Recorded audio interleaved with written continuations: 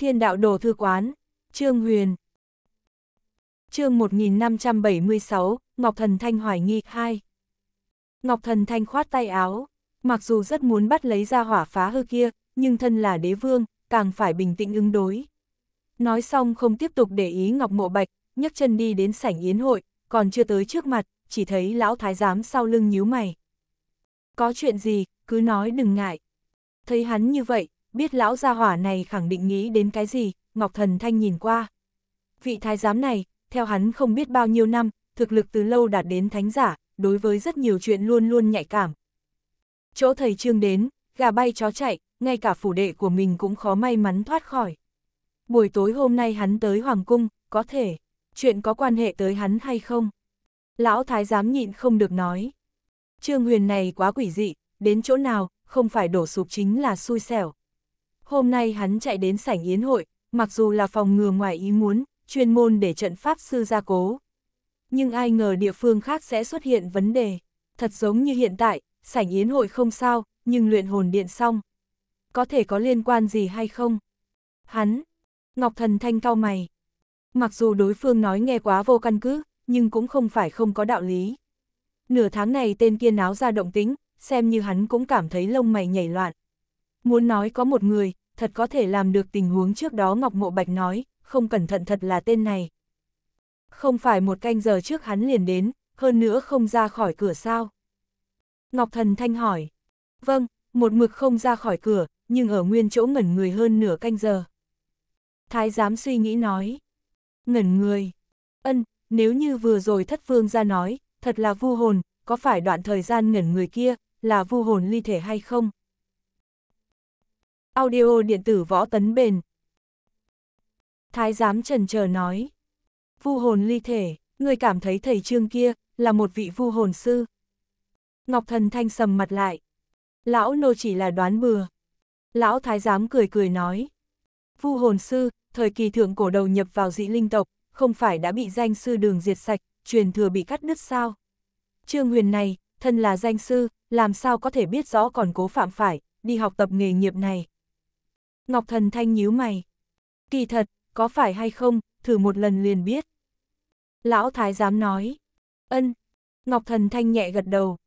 Không nghĩ nhiều nữa, hất ống tay áo, nhanh chân đi vào sảnh yến hội, vừa vào cửa, lập tức nhìn thấy nữ nhi của mình quần áo lộng lẫy, đang đứng ở trước mặt một thanh niên, xoay người rót rượu cho hắn.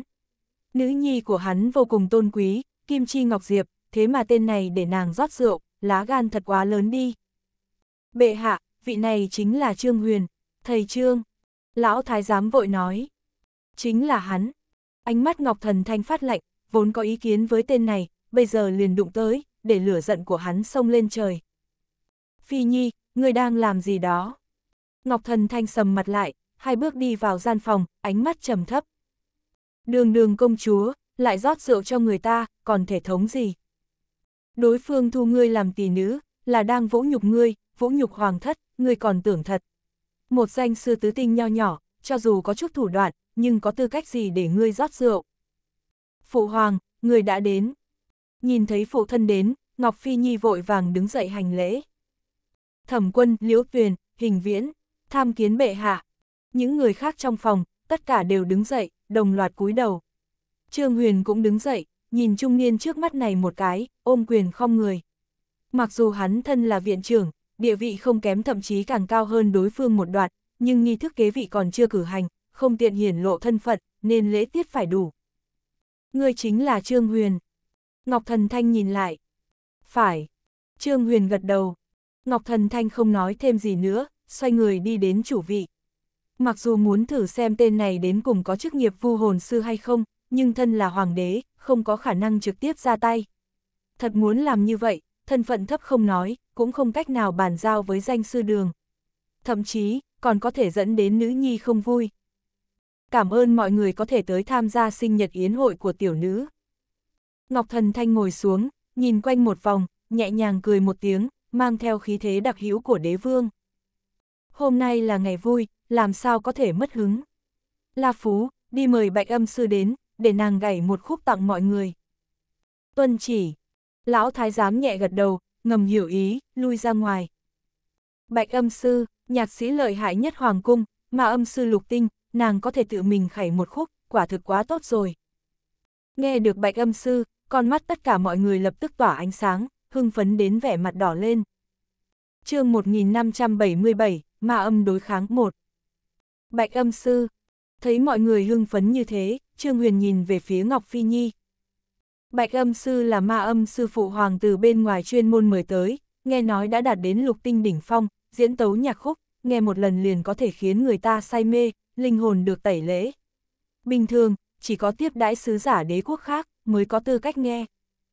Ngọc Phi Nhi cũng kích động đến vẻ mặt thấu đỏ.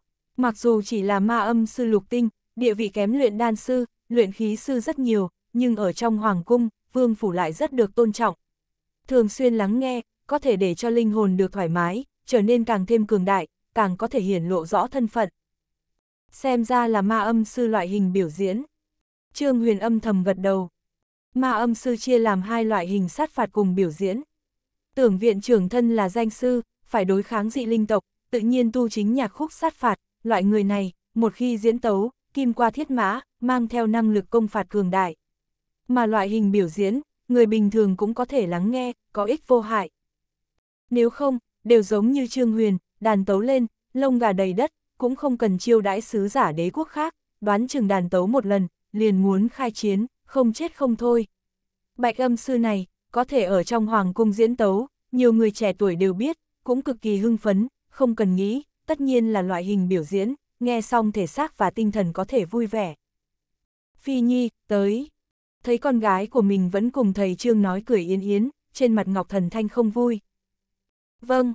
Ngọc Phi Nhi nhẹ gật đầu, đi tới bên cạnh phụ thân, ngồi xuống. Lão thái giám La Phú đi ra ngoài không lâu, liền trở về, phía sau đi theo một nữ tử mặc áo trắng, dáng người uyển chuyển, dung mạo xinh đẹp. Mặc dù hơi không bằng đám người Ngọc Phi Nhi, lạc thất thất, nhưng cũng được cho trong trăm có một. Ma âm sư Bạch Huyên bái kiến bệ hạ, lục công chúa, chư vị tài tuấn. Đi vào đại điện, Bạch âm sư doanh doanh cúi đầu, thanh âm như đàn, dễ nghe êm tai, làm cho lòng người không khỏi thoải mái. Không tệ. Trương Huyền nhẹ gật đầu. Đối phương có thể thanh âm dung hợp tiếng đàn, thi triển ra hiệu quả ma âm mà không thương tổn người, thật có chút trình độ. Bạch âm sư không cần khách khí, hôm nay là sinh nhật của tiểu nữ, còn phải làm phiền ngươi diễn tấu một khúc, trợ hứng cho mọi người. Ngọc Thần Thanh cười nói. Vâng. Bạch âm sư nhẹ gật đầu, khoanh chân ngồi ở một bên, bàn tay phất một cái, một bộ đàn ngọc xuất hiện ở trước mặt. Thấy nàng lấy ra đàn ngọc, con mắt tất cả mọi người đều tỏa sáng. Đây chính là ưng vũ cầm của bạch âm sư A. Truyền thuyết thú sủng của bạch âm sư, thanh vị ưng vì cứu nàng mà chết, vì tưởng niệm đối phương, dùng lông đuôi của đối phương làm thành dây đàn, đồng thời tự mình phổ một thủ khúc, thanh minh ai oán, nghe xong làm cho lòng người đau thương. Ta cũng nghe qua, nghe nói ngày nhạc thành, xuất hiện cục diện tiên hạc khóc minh, bạch âm sư mới danh tiếng vang xa, toàn bộ đế đô, vô số cường giả, đều vì nghe một khúc của nàng mà cảm giác vinh hạnh. Không nghĩ tới bệ hạ vậy mà mời nàng tới, cái này đủ ta trở về khoe khoang ba ngày. Ba ngày, đầy đủ ta khoe khoang ba tháng. Thấy nàng lấy ra đàn ngọc, mọi người đều khó kiềm nén hưng phấn. Ma âm sư loại hình chiến đấu, không gặp chiến sự, cơ bản danh khí không hiện, mà loại hình biểu diễn, nhạc khúc vừa ra, rất dễ dàng để cho người ta đổ xô tới, vì đó danh tiếng lan xa. Nghe được mọi người thảo luận, bạch âm sư nhẹ nhàng cười một tiếng, ngón tay thon dài nhẹ nhàng gảy dây đàn. Len keng, tiếng đàn lập tức vang lên, giống như từ viễn cổ truyền đến, đâm thẳng nội tâm. Ánh mắt Trương Huyền sáng lên, người trong nghề vừa ra tay liền thấy môn đạo, mặc dù đối phương không bằng tưởng viện trưởng, nhưng đi là con đường khác, để cho người ta mơ màng. Len keng, len keng. Ngón tay của bạch âm sư khẽ vuốt, thanh âm tiếp tục chảy xuôi, một cái nháy mắt, mọi người trong đại sảnh, phảng phất như đặt mình vào thảo nguyên rộng lớn, vô số chim tước kêu to ở chung quanh, hương hoa đập vào mặt, cực kỳ hưởng thụ. Rất nhiều tài tuấn ở đây, toàn bộ nhịn không được nhắm mắt lại, tâm phi thần động. Ngay cả thẩm quân cũng híp mắt lại, say mê trong đó.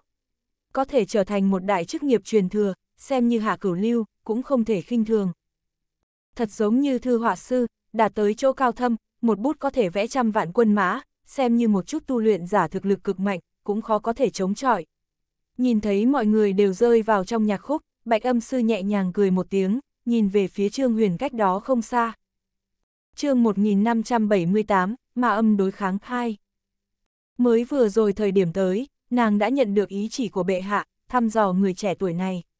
Leng keng, leng keng, thanh âm xoay chuyển, nhạc khúc ở trong tai mọi người, vẫn say mê mê người như cũ, có điều, một cô áp lực linh hồn to lớn, lập tức lan tràn tới. Trương Huyền đang cẩn thận lắng nghe, ý định so sánh một chút, nhạc khúc loại hình biểu diễn này cùng loại hình sát phạt khác nhau ở chỗ nào, lập tức cảm thấy linh hồn run lên, nhạc khúc của đối phương mang theo khiêu khích cùng tiến công mãnh liệt.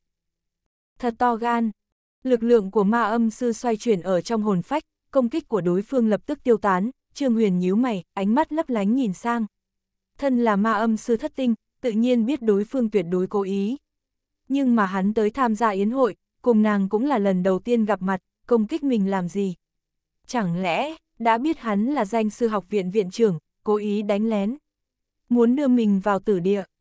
Có khả năng, rất nhiều người đều nói, Hồng Viễn đế quốc không yên ổn, danh sư học viện vì bảo hộ an toàn của ta, thậm chí không tiếc giấu giếm tin tức. Có lẽ, nguy hiểm liền giấu ở chung quanh. Trương Huyền sầm mặt lại. Lạc Nhược Hy nói qua, Hồng Viễn Thành là một trong mấy điểm kết nối của đại lục cùng ngoại vực, dị linh tộc tùy thời có thể đi vào, mục đích của danh sư học viện đúng là vì trấn áp tiết điểm này. Hồ Yêu Yêu cũng cực kỳ cảnh giác, không tiếc mai danh ẩn tích, còn có bi cảnh của Ngô Dương Tử, người mạnh như thế, cũng bị dị linh tộc bắt đi. Những người này nói đến Hồng Viễn Thành, đều giữ kín như bưng, chỉ sợ nơi này thật có không ít bí mật không muốn người biết. Bạch âm sư này, mặc dù danh khí rất lớn, để cho người ta kính trọng, nhưng vừa ra tay, liền tiến hành linh hồn uy áp với mình, tất nhiên có mưu đồ. a à, trừ khi ra tay, dùng thực lực tuyệt đối đối nghiền ép ta, dùng ma âm đối phó ta. Người suy nghĩ nhiều. Ánh mắt Trương Huyền phát lạnh. Hiện tại hắn chỉ là đạp hư cảnh sơ kỳ, đối phương dùng thực lực tuyệt đối nghiền ép, chưa ném tử dương thú ra, không có cách nào chống chọi, nhưng muốn dùng ma âm tiến công, nghĩ quá đơn giản đi. Ngay cả tưởng viện trưởng cũng bái hắn làm thầy, người một ma âm sư loại hình biểu diễn, cũng muốn đối phó, không phải đùa giỡn hay sao. Cũng không nói chuyện, Trương Huyền giống như mọi người, hít mắt lại, giả bộ như đã say mê ở trong nhạc khúc, bàn tay thì nhẹ nhàng bưng lên một ly rượu không, cầm lấy một bầu rượu, chậm rãi đổ vào. Dầm dầm, rượu vào chén, như cao sơn lưu thủy, lại giống như dòng suối nhỏ trong núi, thanh âm không lớn, nhưng xen lẫn ở trong, để nhạc khúc tiến công trước đó chỉ trệ. Ân, cảm nhận được thanh âm này đúng lúc xuất hiện ở chỗ nhạc khúc dính liền, bạch âm sư biết gặp phải cường giả, nhướng mày, thủ pháp đánh đàn bỗng nhiên biến đổi. Len keng, len keng, len keng, thanh âm tăng nhanh, mọi người lập tức cảm thấy thảo nguyên rộng lớn, tựa như có thiên quân vạn mã lao qua, bụi mù lượn lờ, mây đen biến ảo, đại địa chấn động. Đến hay lắm, đã sớm phỏng đoán nàng có thể như vậy, Trương Huyền nhẹ nhàng cười một tiếng, để bầu rượu xuống bàn, tay cầm một chiếc đũa, nhẹ nhàng gõ vào chén rượu, bầu rượu cùng trên mâm. Đinh! Mặc dù đây đều là gốm sứ, thanh âm đơn điệu, nhưng bên trong có rượu cùng đồ ăn, liền hiện ra thanh âm bất đồng. Đinh đinh đông, đinh đinh đông, thanh âm không giống như đàn ngọc, nhưng mỗi một tiếng, đều vừa khéo rơi vào thiết điểm tiếng đàn biến hóa của đối phương, để cho người ta khí thức hỗn loạn. Nếu như tiếng đàn của ma âm sư như gợn sóng, như vậy mỗi khi Trương Huyền gõ một cái, đều đánh vào đáy gợn sóng, không chỉ kéo lấy tiếng đàn của đối phương, thậm chí ngay cả trái tim của nàng, cũng dựa theo nhịp điệu của hắn mà động. Nguy rồi, cao thủ. Lúc này bạch âm sư mới hiểu được gặp phải đối thủ như thế nào, còn người co rút lại, vẻ mặt trắng bệch. Ma âm đối công, nghe rất đơn giản, trên thực tế cực kỳ nguy hiểm, hơi không cẩn thận, tu vi tổn hại, nghiêm trọng, càng có khả năng tại chỗ tử vong. Khẩu Phật tâm xà giết người, chức nghiệp càng văn nhã, càng mang theo sát cơ lớn lao. Giống như danh sư, giáo thư dạy người, làm gương sáng cho người khác, hòa ái dễ gần, một khi nổi giận, thiên địa có thể vì đó biến sắc, không người dám chặn. Ma âm cũng như thế, đối phương dùng đúa gõ chén rượu cùng bàn ăn, liền sinh ra uy lực lớn như vậy, nói rõ nắm giữ ma âm tuyệt đối vượt qua nàng, thậm chí cao không cách nào tưởng tượng. Đổi lại trước kia, gặp được người mạnh như thế, khẳng định không dám nhiều lời, lập tức ôm quyền nhận thua, có thể trốn xa bao nhiêu thì xa bấy nhiêu, nhưng vừa rồi khiêu khích, đối phương đã xuống tay độc ác, gõ thanh âm, cùng tiếng đàn của nàng hoàn mỹ dung hợp, như so đấu chân khí, đã không cách nào đơn phương đình chỉ. Nói cách khác, một khi nàng dừng lại, công kích của đối phương, thế tất như xúc tích hồng thủy, cuộn trào mãnh liệt, đến lúc đó.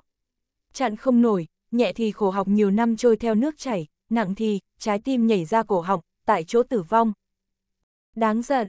Nàng nhíu mày, không dám tiếp tục coi thường, hai tay đánh đàn, cả người đứng lên, bởi vì chân khí trong cơ thể vận chuyển quá nhanh, trên đầu bốc lên khói trắng. Ra tay độc ác sao? Vậy thì tốt, ta thành toàn ngươi. Thấy tiếng đàn của đối phương càng ngày càng mạnh, Trương Huyền híp mắt, cũng không động thân, tay trái cầm lên một chiếc đũa khác, gõ lấy mặt bàn. Đông đông đông, cái bàn là gỗ đặc thù, gõ lên thanh âm một ngạt, giống như chống trận, nặng nề mà thâm trầm. Mặc dù chỉ tăng thêm một chiếc đũa, nhưng lực độ công kích lập tức tăng lên không chỉ một lần. Phốc, bản thân bạch âm sư liền không phải đối thủ, lúc này Trương Huyền lại tăng thêm thanh âm, làm sao chịu được, sắc mặt trắng nhợt, phun ra một ngụm máu tươi, kìm lòng không được va vào trụ đá trong đại điện. Lui, lui được sao? Trương Huyền vạch đũa một cái, chén đĩa trước mắt lập tức phát ra thanh âm tựa như trung đỉnh. Phốc, bạch âm sư phun máu lần nữa, chân khí trong cơ thể tuôn trào, tựa như bị người đánh một quyền, cây cột sau lưng không thể kiên trì được nữa, bị nàng đụng gãy, bụi mù tản mát ra. chương 1579, hắn là viện trưởng. 1. Mặc dù cột đã gãy, nhưng đại điện được rất nhiều trận pháp gia cố bao phủ, trong lúc nhất thời ngược lại không sập được. Nhiều nhất là hơi bụi bặm, cũng không ảnh hưởng gì lớn. Làm sao vậy? Bạch âm sư làm sao bị thương? Xảy ra chuyện gì? Hai bên giao chiến, chỉ ở một cái chớp mắt, bạch âm sư trọng thương hộc máu, đụng gãy cây cột, lại thêm đại điện rung động, mọi người cuối cùng từ trong say mê tỉnh táo lại, cả đám hai mặt nhìn nhau, không rõ ràng cho lắm. Tấu nhạc tấu rất tốt, tại sao lại hộc máu, lui về phía sau, còn đụng gãy cột. Bạch âm sư, luôn luôn danh khí rất lớn, cũng rất dịu dàng, hôm nay đây là làm sao vậy? Xảy ra chuyện gì? Ngọc Thần Thanh cũng sững sờ, vội vàng quay đầu nhìn về phía Trương Huyền cách đó không xa. Hắn là người biết chuyện, ngu nữa cũng biết, bạch âm sư khác thường như thế, khẳng định có quan hệ tới thanh niên đang gõ chén rượu, đĩa ăn kia. Là ma âm đối kháng. Con người co rụt lại, như nhớ tới cái gì, nhịn không được bờ môi run rẩy. Ma âm đối kháng, là ma âm sư mạnh mẽ cạnh tranh, giống như võ giả sinh tử đấu, cực kỳ nguy hiểm, hơi không cẩn thận, liền có khả năng một phương vẫn lạc. Không phải để bạch âm sư sò xét Trương Huyền có phải am hiểu linh hồn hay không sao? Làm sao lại ma âm đối công? Chẳng lẽ Trương Huyền kia là một vị ma âm sư? Trương Huyền khảo hạch ma âm sư, người biết chuyện chỉ có học viên canh giữ ở ma âm các, cùng hai vị viện trưởng, người khác biết cũng không nhiều, do đó xem như Ngọc Thần Thanh là hoàng đế bệ hạ, cũng không rõ lắm. Nhưng lúc này thấy đối phương gõ bàn gõ chén rượu, lại không hiểu liền thật có vấn đề. Phụ hoàng, thầy Trương là khách quý của ta, một khi có chỗ sai lầm, mặt mũi của hoàng thất ở đâu? Mặc dù không biết tại sao bạch âm sư lại động thủ, nhưng biết chắc có quan hệ tới phụ hoàng, Ngọc Phi Nhi nhịn không được mở miệng. Ân, biết nữ nhi nói đúng, Ngọc Thần Thanh nhẹ gật đầu, nhịn không được mở miệng. Bạch huyên âm sư, xin dừng tay đi. Hắn không biết ma âm đối kháng hung hiểm, còn tưởng rằng Bạch huyên vẫn đang thi hành mệnh lệnh của hắn. Ta, nghe được bệ hạ nói, Bạch huyên đang muốn trả lời, lập tức cảm thấy tiếng đánh của đối phương truyền đến lần nữa, cảm giác áp bách mãnh liệt, để nàng kìm lòng không được lui về phía sau, chỉ có thể vội vàng đánh đàn hóa giải, ngay cả lời cũng nói không ra. Lộc cộc lộc cộc lộc cộc lộc cộc, liên tục lui về sau 7-8 bước, bởi vì chân khí sôi trào, mỗi một bước đều đạp mạnh xuống đất, sâu tới nửa thước. Bành, sống lưng lần nữa đụng phải vách tường đại điện, lần này rất nhiều trận pháp gia cố ngăn cản, sau lưng lóe lên ánh sáng, lập tức ngừng lại. Ân, cảm nhận được phía sau có chỗ dựa, Bạch Huyên lập tức thở phào nhẹ nhõm, đột nhiên nhớ tới cái gì, thân thể nhoáng một cái, dán chặt lấy mặt tường, nhẹ nhàng cười một tiếng, môi đỏ khẽ mở. Thanh thanh tử câm, du du ngã tâm, túng ngã bất pháng, tử ninh bất tự âm. Là một bài ca tương tư, mặc dù triền miên, để người mê say, nhưng Trương Huyền nhướng mày, đột nhiên đứng dậy. Đối phương vốn đã chống chọi không được ma âm của hắn, nhưng lưng tựa gian phòng trận pháp gia cố, lấy lực lượng trận pháp, thế mà hóa giải công kích. Trận pháp nói trắng ra là dựa theo phương vị đặc thù bố trí, có thể tụ lại linh khí, tiến hành công phạt, mê huyễn cùng rất nhiều hiệu quả đặc thù. Trận pháp gia cố, sở dĩ có thể củng cố tường thành, để nó không ngã, cũng không phải là để nó càng kiên cố hơn, mà là hóa giải lực lượng tiến công lên. Thật giống như bọt biển, hóa giải lực lượng, bảo vệ đồ vật, tự nhiên cũng là chắc chắn. Bạch Huyên vốn cực kỳ bị động, thấy được trận pháp gia cố, che giấu trong đó, Trương Huyền công kích, thật giống như đánh lên bông, tiêu tán thành vô hình, lực công kích yếu đi, đối phương tự nhiên lấy lại tinh thần, lấy tiếng ca tiến hành phản công. Tương tư đoạn trường, đối phương hát là ca khúc tương tư, nếu hắn không cách nào phản kháng, sợ rằng sẽ lập tức ruột xuyên bụng nát, chết oan chết uổng. Có thể nói, mượn nhờ trận pháp gia cố, đối phương từ phòng ngự, biến thành chủ động tiến công, bị động ngược lại là hắn. Quả nhiên mỗi một chức nghiệp đều không thể khinh thường. Mặc dù bị động, nhưng Trương Huyền không bối rối chút nào, ngược lại cười nhạt một tiếng, bàn tay vỗ bàn, cái chén đầy rượu lập tức bay lên. Bài hát hay, ta kính bạch âm sư một chén. Trong âm thanh của hắn, cũng xen lẫn ma âm công kích, trong nháy mắt hóa giải tiếng ca của đối phương, sau một khắc, chén rượu thẳng tắp bay đi. Phương hướng cũng không phải bạch âm sư, mà là bức tường cách đó không xa. Len keng, chén rượu va chạm bức tường, lập tức va nát, mảnh vỡ chia năm xẻ bảy rơi xuống, nhưng để cho người ta kỳ quái là, những mảnh vỡ này còn không có rơi trên mặt đất, liền lơ lửng giữa không trung. Ông, mảnh vỡ dừng lại, đại điện trước đó được trận pháp gia cố vững chắc, giống như bị đụng phải hạch tâm, lập tức ngừng vận chuyển. Những trận pháp gia cố này, thời điểm Trương Huyền đến liền dùng minh lý chi nhãn nhìn, chỗ trọng yếu nhất của trận pháp ở nơi nào, trong lòng sớm đã rõ ràng, giờ phút này trong chén rượu ẩn chứa chân khí của hắn, thoạt nhìn là mảnh vỡ bay loạn, trên thực tế là hắn cố ý gây nên, chỉ một chút, liền để tất cả trận pháp gia cố ngừng lại. Có thể nói, nguyên lý hoàn toàn tương đồng một cước phá trận pháp của hắn. Trận pháp đình chỉ, nguy rồi. Ngọc Thần Thanh nói dứt lời, đang chờ bạch âm sư dừng lại, không nghĩ tới đối phương đầu tiên là ca hát, ngay sau đó thầy Trương đứng dậy ném chén rượu, trận pháp lập tức đình chỉ, vừa mới kịp phản ứng, muốn tiếp tục nói chuyện, liền thấy bạch âm sư không có trận pháp ra cố trợ giúp, liền không chịu nổi ma âm tiến công, lần nữa cuồng phun máu tươi, bay về phía sau. Âm âm, bức tường phía sau không có trận pháp phòng ngự, sao còn chịu được nàng va chạm, chỉ một chút liền sập một mảnh. Kẹt kẹt, sảnh yến hội vốn bị đụng gãy cột trụ, lúc này bức tường lại sập, rốt cuộc kiên trì được, oanh minh một tiếng, trực tiếp sụp xuống. Đáng giận, Ngọc Thần Thanh cảm thấy điên rồi. Tên này quả nhiên đi đến đâu, sập đến đấy. Đã để trận pháp đại sư ra cố sảnh yến hội, kết quả vẫn như vậy. Ngươi là tới tham gia yến hội của Ngọc Phi Nhi, hay tới phá nhà. Nhưng lúc này cũng biết chửi vô dụng, bàn tay chào một cái, một đạo chân khí hùng hậu tràn ngập ra, chống phòng ốc sắp ngã xuống trên không trung. Thánh giả nhất trọng đỉnh phong, mặc dù bất lực với chuyện bức tường sụp đổ, nhưng để nó đình chỉ không rơi xuống, còn có thể làm được. Bất kể nói thế nào, cũng là sinh nhật yến hội của nữ nhi, mặc dù nhà sập không có khả năng đập tổn thương đám trẻ tuổi tài tuấn này, cũng mất mặt mũi a hát. Đa tả, dùng ma âm đánh bay bạch âm sư ra ngoài, Trương Huyền thở phào nhẹ nhõm, cười nhạt một tiếng, hiển thị rõ nho nhã. Nàng kia dùng tu vi tỉ thí, hắn khẳng định không phải đối thủ, nhưng dùng ma âm. Không phải tìm tai vạ sao? Nói xong xoay người nhìn về phía Ngọc Thần Thanh ở trong đại sảnh, nghĩa chính ngôn từ, đại nghĩa lăng nhiên. Bệ hạ, tại hạ là danh sư được danh sư đường thừa nhận, bạch âm sư này, vừa thấy mặt liền tiến công ta, rõ ràng mưu đồ quấy rối, ta hoài nghi có thể có quan hệ tới dị linh tộc. Xin bệ hạ bắt lấy thẩm vấn, không nên để xảy ra sai sót. Dị linh tộc, chương 1580, hắn là viện trưởng. 2. Ngọc Thần Thanh nhoáng một cái, thiếu chút nữa ngất đi. Ta bảo nàng thăm dò ngươi, tại sao lại dính líu tới dị linh tộc. Mặt khác, người biến sinh nhật yến hội của nữ nhi ta thành như vậy, sảnh yến hội cũng phế đi, ta còn không kịp nói chuyện, người nghĩa chính ngôn từ cái giam a hát. Nếu như bệ hạ không tin, hiện tại ta liền báo cho danh sư đường mặc đường chủ, để hắn tới thẩm vấn, có lẽ liền có thể nhận xác định.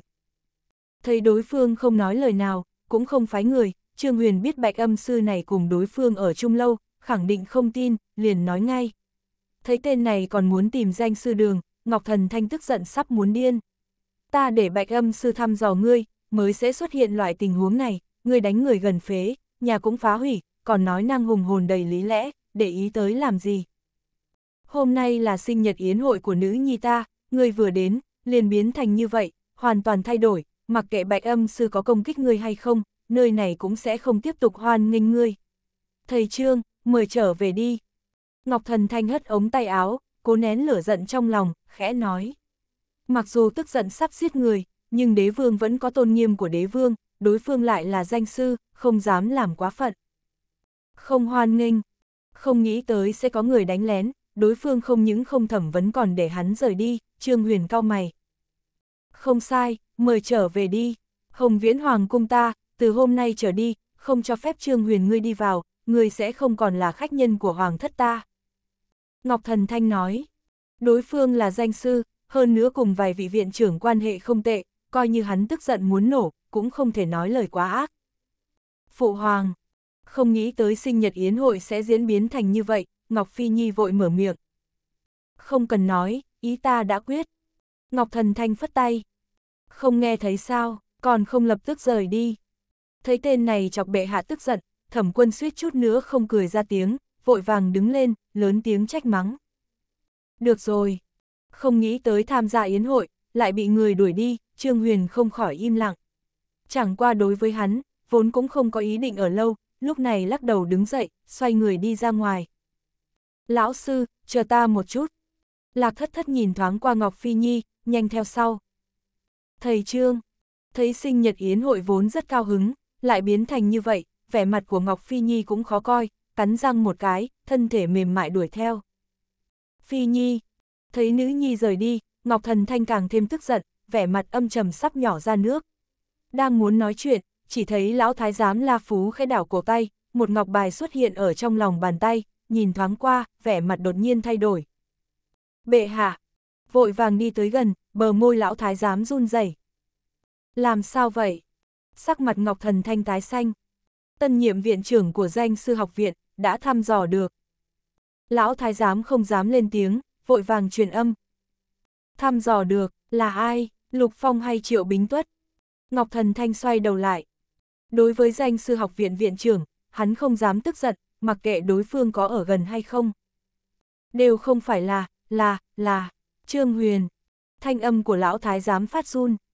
Trương Huyền, mới vừa đi ra kia, Trương Huyền. Mắt Ngọc Thần Thanh tối sầm lại. Vâng. Lão thái giám vội vàng gật đầu, Ngọc Thần Thanh đứng lên, xông ra khỏi phòng. Thầy Trương, không vội đi, ta nghĩ giữa chúng ta có hiểu lầm. Thẩm quân. Những người khác. chương 1581, Ngọc Thần Thanh hối hận một. Âm ầm. Ngọc Thần Thanh vừa rời đi, gian phòng không còn chân khí gia trì, lập tức sập xuống, mảnh vụn, tảng đá bay loạn. Chư vị trẻ tuổi tài tuấn, vội vã vọt ra khỏi phòng, nhìn xem phế tích đầy đất, cùng hoàng đế bệ hạ một bên gọi, hiểu lầm, vừa đi xa, cả đám hai mặt nhìn nhau. Bệ hạ này, là thế nào ha? Liễu tuyền nuốt ngụm nước bọt, có chút ngẩn người. Mới vừa rồi nghĩa chính ngôn từ đuổi người ta đi, không lưu tình chút nào, hoàn toàn đắc tội, sau một khắc liền tiến lên nói hiểu lầm. Có thể trở mặt nhanh một chút không? Ta làm sao biết? Thẩm quân càng lơ ngơ. Mới vừa rồi hắn thấy bệ hạ tức giận, còn giúp bỏ đá xuống giếng, hiện tại trở mặt, bản thân lập tức thành chuyện cười, đi cũng không được, ở lại cũng không xong. Cái kia, còn giáo huấn tên này sao? Liễu tuyền nhịn không được nói. Bệ hạ cũng nói là hiểu lầm, còn muốn tiếp tục giáo huấn hay không? Nhất định phải giáo huấn, có điều, tìm mấy cái lạ mặt, đừng để người ta biết ai là được. Thẩm quân mắt sáng lên. Nếu như bệ hạ vẫn là thái độ trước đó, coi như tên này có thể để cho phi nhi công chúa yêu ái, thì có ích lợi gì? Hoàng thất, từ đầu đến cuối coi trọng mặt mũi, bệ hạ không đồng ý, nàng cũng không có cách nào. Hiện tại vò thẳng ra ngoài, thái độ rõ ràng thay đổi, áp lực của hắn lập tức trở nên to lớn. Đã như vậy, trước tiên đánh đối phương không dám suy nghĩ lung tung, nếu không, thực sự tiêu không được cơn giận này. Hai người thương nghị như thế nào giáo huấn Trương Huyền, Ngọc Thần Thanh đã đuổi theo ra Hoàng Cung, chỉ thấy Ngọc Phi Nhi cùng Lạc Thất Thất đang đứng ở cách đó không xa, sớm đã không còn tung tích của Trương Huyền. Thầy Trương đâu? Ngọc Thần Thanh vội vàng tiến lên, nhịn không được hỏi.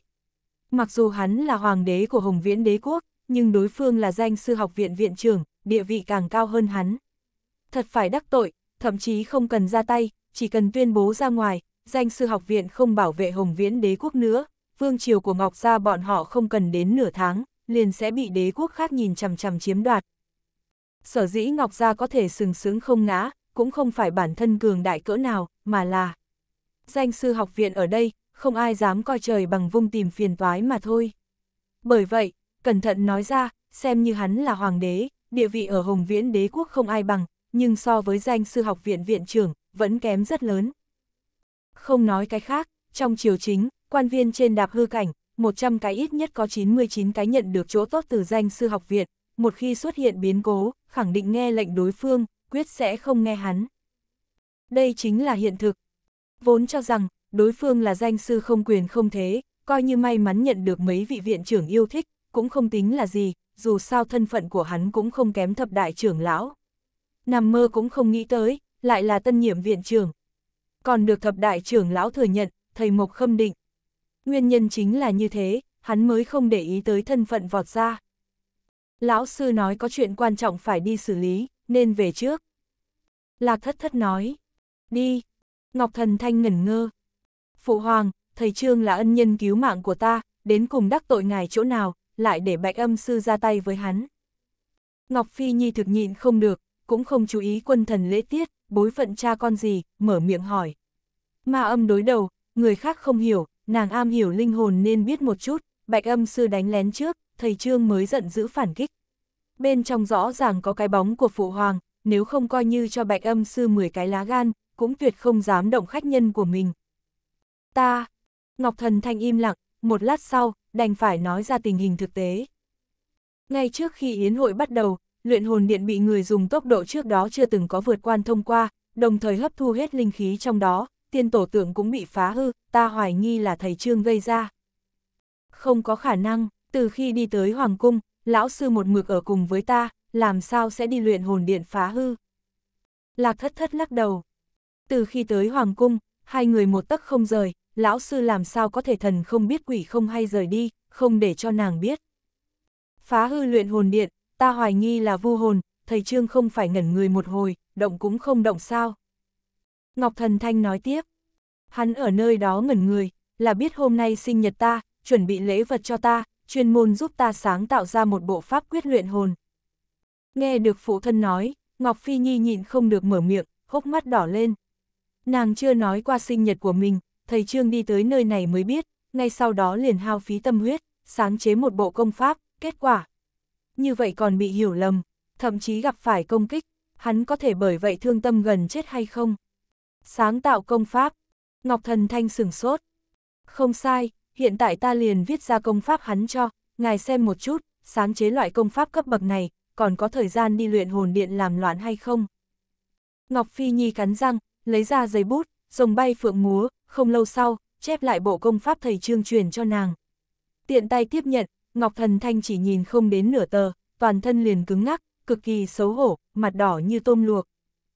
Bộ pháp quyết luyện hồn này quá mạnh, thậm chí cường đại hơn thiên truy ngưng hồn quyết tổ truyền của bọn hắn. Công pháp như thế này, coi như cấp bậc danh sư như thầy Mộc, muốn sáng chế không có mấy tháng cũng khó khăn, đối phương lâm thời sáng chế, tất nhiên hao phí vô số tâm huyết. Mà bản thân lại hoài nghi hắn làm loạn, thật là không phân biệt tốt xấu, không biết nhân tâm tốt chương 1582, Ngọc Thần Thanh hối hận 2 Bộ pháp quyết này, hoàn mỹ phù hợp thể chất Ngọc gia chúng ta. Rất nhanh lật hết, Ngọc Thần Thanh hổ thẹn muốn chui vào kẽ đất. Bộ công pháp luyện hồn này, hoàn toàn căn cứ thể chất Ngọc gia bọn họ sáng tạo ra, ngoại nhân không cách nào tu luyện, cho nên, không cần hoài nghi, có phải tiền nhân lưu lại hay không. Công pháp cao thâm như vậy, có thể đoán được, chỉ cần tu luyện, thực lực của toàn bộ Ngọc Gia, ít nhất sẽ để cao ba thành. Có thể nói, một phần công pháp này, đừng nói hủy luyện hồn điện, coi như làm sập nửa hoàng cung, thậm chí làm sập toàn bộ, hủy toàn bộ bia đá, giá trị cũng vượt xa. Đối phương ngưng thần sáng tạo công pháp, tự nhiên sẽ ngẩn người. Mà hắn hoài nghi, cố ý thăm dò không nói, còn đuổi người ta đi. Càng nghĩ càng thấy làm quá mức. La Phú, phủ đệ của thầy Trương không phải sập sao. Lập tức mời công tượng tốt nhất cả nước đi sửa, trước hừng đông, phải xây ra phủ đệ huy hoàng hơn cả hoàng cung. Ngọc Thần Thanh quay đầu phân phó. Vâng, lão thái giám vội vã rời đi. Phủ đệ lớn như thế, xây dựng cộng thêm gia trì trận pháp, khẳng định cần phải hao phí không ít, nhưng vậy thì thế nào? Chỉ cần có thể xin lỗi, một lần nữa giao hảo, đều đáng giá. Trương Huyền không biết Hồng Viễn Hoàng thất muốn giúp hắn xây dựng phủ đệ, lúc này, đã đi tới lôi viễn phong. Ngọn núi cao vút, tuyết trắng mênh mang, lộ ra rất thanh lãnh. Đi vào vị trí nhà gỗ trước đó của tử dương thú, khoanh chân ngồi xuống. Bây giờ cách giờ tí còn có chút thời gian, mấy người hồ yêu yêu chưa tới, vừa vận truyền cho phân thân bí pháp đạp hư cảnh, để thực lực đối phương tăng lên. Bản tôn, phân thân xuất hiện ở trước mắt. Trước đó ngụy trang thầy Dương, đến cùng xảy ra chuyện gì? Sao lại làm sập cả phong sư điện? Trương Huyền trực tiếp hỏi. Mặc dù trong lòng có suy đoán, nhưng lúc đó uy lực quá mạnh, đến bây giờ còn có nhiều chỗ không nghĩ ra. Là ngoan nhân mượn nhờ bản chép tay của thầy khổng, tạo thành hiệu quả. Phân thân truyền tới một đạo ý niệm. Trương Huyền lập tức rõ ràng, giống như hắn đoán không có tranh lệch quá lớn, ngoan nhân mượn nhờ bản chép tay của thầy khổng, quả thực để khí tức trở nên thuần khiết, đã không còn sát lục, hơn nữa uy lực càng thêm cường đại. Lúc đó phân thân chính là mượn nhờ lực lượng của đối phương, mới uy phong như vậy, đè thầy mộc, tính cả thập đại trưởng lão nói cũng nói không nên lời. Tinh thần khẽ động, lấy ra thiên đạo chi thư giam ngoan nhân cùng bản chép tay của thầy khổng. Ta biểu hiện coi như cũng được a ta đã nói, chỉ cần ngươi cho ta ăn, nhất định có thể giúp ngươi chơi lớn. Vừa thấy được hắn, con mắt ngoan nhân liền tỏa sáng, giống như lấy lòng nói. Cho ngươi ăn, ngươi suy nghĩ nhiều. Trương Huyền lắc đầu, mở bản chép tay của thầy khổng ra, đang muốn nói đối phương, suy nghĩ nhiều, đột nhiên ngây người, lên tiếng kinh hô. Đây là có chuyện gì? Chỉ thấy chữ viết điều khác trên thẻ trúc, biến mất trọn mấy trăm chữ, bóng loáng cái gì cũng không nhìn thấy, tựa như bị người dùng đao gọt đi. Trước đó còn có chữ, hắn tự mình lật xem, đồng thời dùng cái này sư tự luyện tâm, làm sao? Lúc này mới mấy ngày không thấy, liền biến mất. Không cho ta ăn những chữ này, làm sao có thể làm ra khí thế cường đại như vậy, ngay cả trận pháp cũng có thể nghiền ép, phòng ốc san bằng. Ngoan nhân nói, nuốt ăn, ngươi nuốt ăn những chữ này. Trương Huyền mắt tối sầm lại. Sớm biết phân thân không đáng tin cậy, không nghĩ tới cùng ngoan nhân một chỗ, càng không đáng tin cậy như thế. Đây chính là bản chép tay của thầy khổng, trong đó còn ẩn chứa một bộ công pháp. Ngươi ăn mất, thiếu tay cụt chân, còn ngộ cái giám a hát. Đúng vậy. Ngoan nhân gật đầu. Nghe hắn thừa nhận, Trương Huyền khóc không ra nước mắt. Chữ viết của thầy khổng, vô luận danh sư nào nhận được, đều thích đáng bảo tồn, truyền thừa hậu thế, mình thì tốt rồi, trực tiếp ăn. Về sau thật có cơ hội nhìn thấy thầy khổng, khẳng định sẽ cực kỳ xấu hổ. Chuyện này là sao a? Nhưng hiện tại đã như vậy, trách cứ hai người này cũng vô dụng. Dù sao tình huống lúc đó, thầy Dương không xuất hiện, giải thích không rõ sẽ càng thêm phiền phức. Không còn xoắn suýt, nhìn kỹ một cái, cả cuốn thẻ tre, chữ viết thiếu đi không sai biệt lắm một phần ba, nói cách khác, nếu như còn muốn để Dương Huyền xuất hiện loại hiệu quả lúc trước, quyển sách này còn có thể lại sử dụng hai lần. Quên đi. Trương Huyền lắc đầu. Mặc dù công pháp của thầy khổng rất tốt, nhưng hắn có thiên đạo bí tịch, có hay không đều không tính là gì. Thu thẻ che cùng ngoan nhân vào không gian giới chỉ, tinh thần khẽ động, truyền pháp quyết đạp hư cảnh cho phân thân. Có pháp quyết có thể tiến bộ, phân thân cũng không do dự, mượn nhờ địa mạch linh dịch bắt đầu tu luyện. Thừa dịp hiện tại có công phu, Trương Huyền cũng vừa vặn quan sát thực lực của mình một chút. Hồn lực đến đạp hư cảnh đỉnh phong, lực lượng 20 triệu đỉnh, cộng thêm chân khí 17 triệu đỉnh, cùng thân thể 8 triệu đỉnh, đã chừng 45 triệu đỉnh, so với cường giả vừa bước vào bán thánh cũng không kém chút nào. Đạp hư cảnh sơ kỳ, có thể so với bán thánh sơ kỳ, vượt vượt hai đại cấp, chỉ sợ chiến sư chân chính cũng khó có thể bằng được. Nghiên cứu không biết bao lâu, phát hiện linh hồn quá mạnh, thân thể lại có chút theo không kịp, lúc này mới đình chỉ tu luyện. Lần này đợi không lâu, nghe phía ngoài có thanh âm linh thú bay lượn, biết đám người hồ yêu yêu tới, tinh thần khẽ động thu phân thân vào thiên nghĩ phong xào, đặt tử dương thú ở đằng sau nhà tranh, Trương Huyền đứng dậy đi ra ngoài. chương 1583, nhà kiếm linh hổ 1. Thầy Trương, đi ra nhà tranh, liền thấy đám người hồ yêu yêu, tiết chân dương từ trên lưng linh thú to lớn nhảy xuống.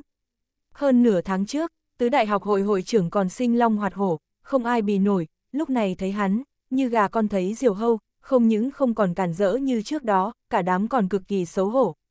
Tới đối nghịch, hiện tại biến thành vãn bối, coi như muốn kiêu ngạo cũng kiêu ngạo không nổi.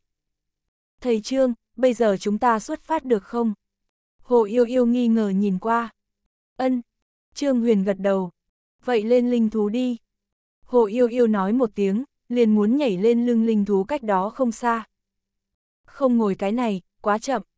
Trương Huyền lắc đầu, tinh thần khẽ động, nói một tiếng, một thánh thú hình vượn từ đằng sau nhà tranh đi ra. Tử dương thú, thánh thú của lão viện trưởng, tử dương tiền bối. Tiền bối không phải mất tích sao? Đám người hồ yêu yêu, tiết chân dương giật nảy mình, cả đám giống như nhìn quái vật nhìn về phía thanh niên trước mắt. Bọn họ hầu như đều là thân truyền của viện trưởng, sự tình 10 đại viện trưởng phái người tìm tử dương thú, tất cả đều nghe nói qua, làm sao? Ở chỗ thầy Trương, hơn nữa nhìn bộ dáng, một người một thú quan hệ không giống bình thường. Chỉ có Đồng Hân không có ngoài ý muốn, nàng tận mắt thấy thập đại trưởng lão tuyển cử vị trước mắt này trở thành viện trưởng, đồng thời nhìn thấy tử dương thú gọi hắn chủ nhân. Chỉ là chuyện này được giữ bí mật, không cho phép dò gì, không thể nói mà thôi. Tốc độ của nó nhanh hơn, có lẽ trong 3 ngày có thể qua lại một vòng. Trương Huyền cũng không giải thích, phân phó một tiếng. Tử Dương, chờ chúng ta đi một chuyến. Vâng, chủ nhân. Tử Dương thú nhẹ gật đầu, xương cốt toàn thân giòn vang, hình thể lập tức tăng gấp 3, trước đó chỉ cao hơn nhân loại một chút, mà bây giờ như một ngọn núi nhỏ. Khẽ vươn tay đặt cổ kiệu trên lưng linh thú đồng hân lên lưng của nó. Đi thôi. Thấy đường đường thánh thú chấn viện, biến thành tòa kỵ, ba người hồ yêu yêu, tiết chân dương, Long Thương Nguyệt đến bây giờ cũng phản ứng không kịp, cả đám ngẩn người, giống như muốn điên rồi.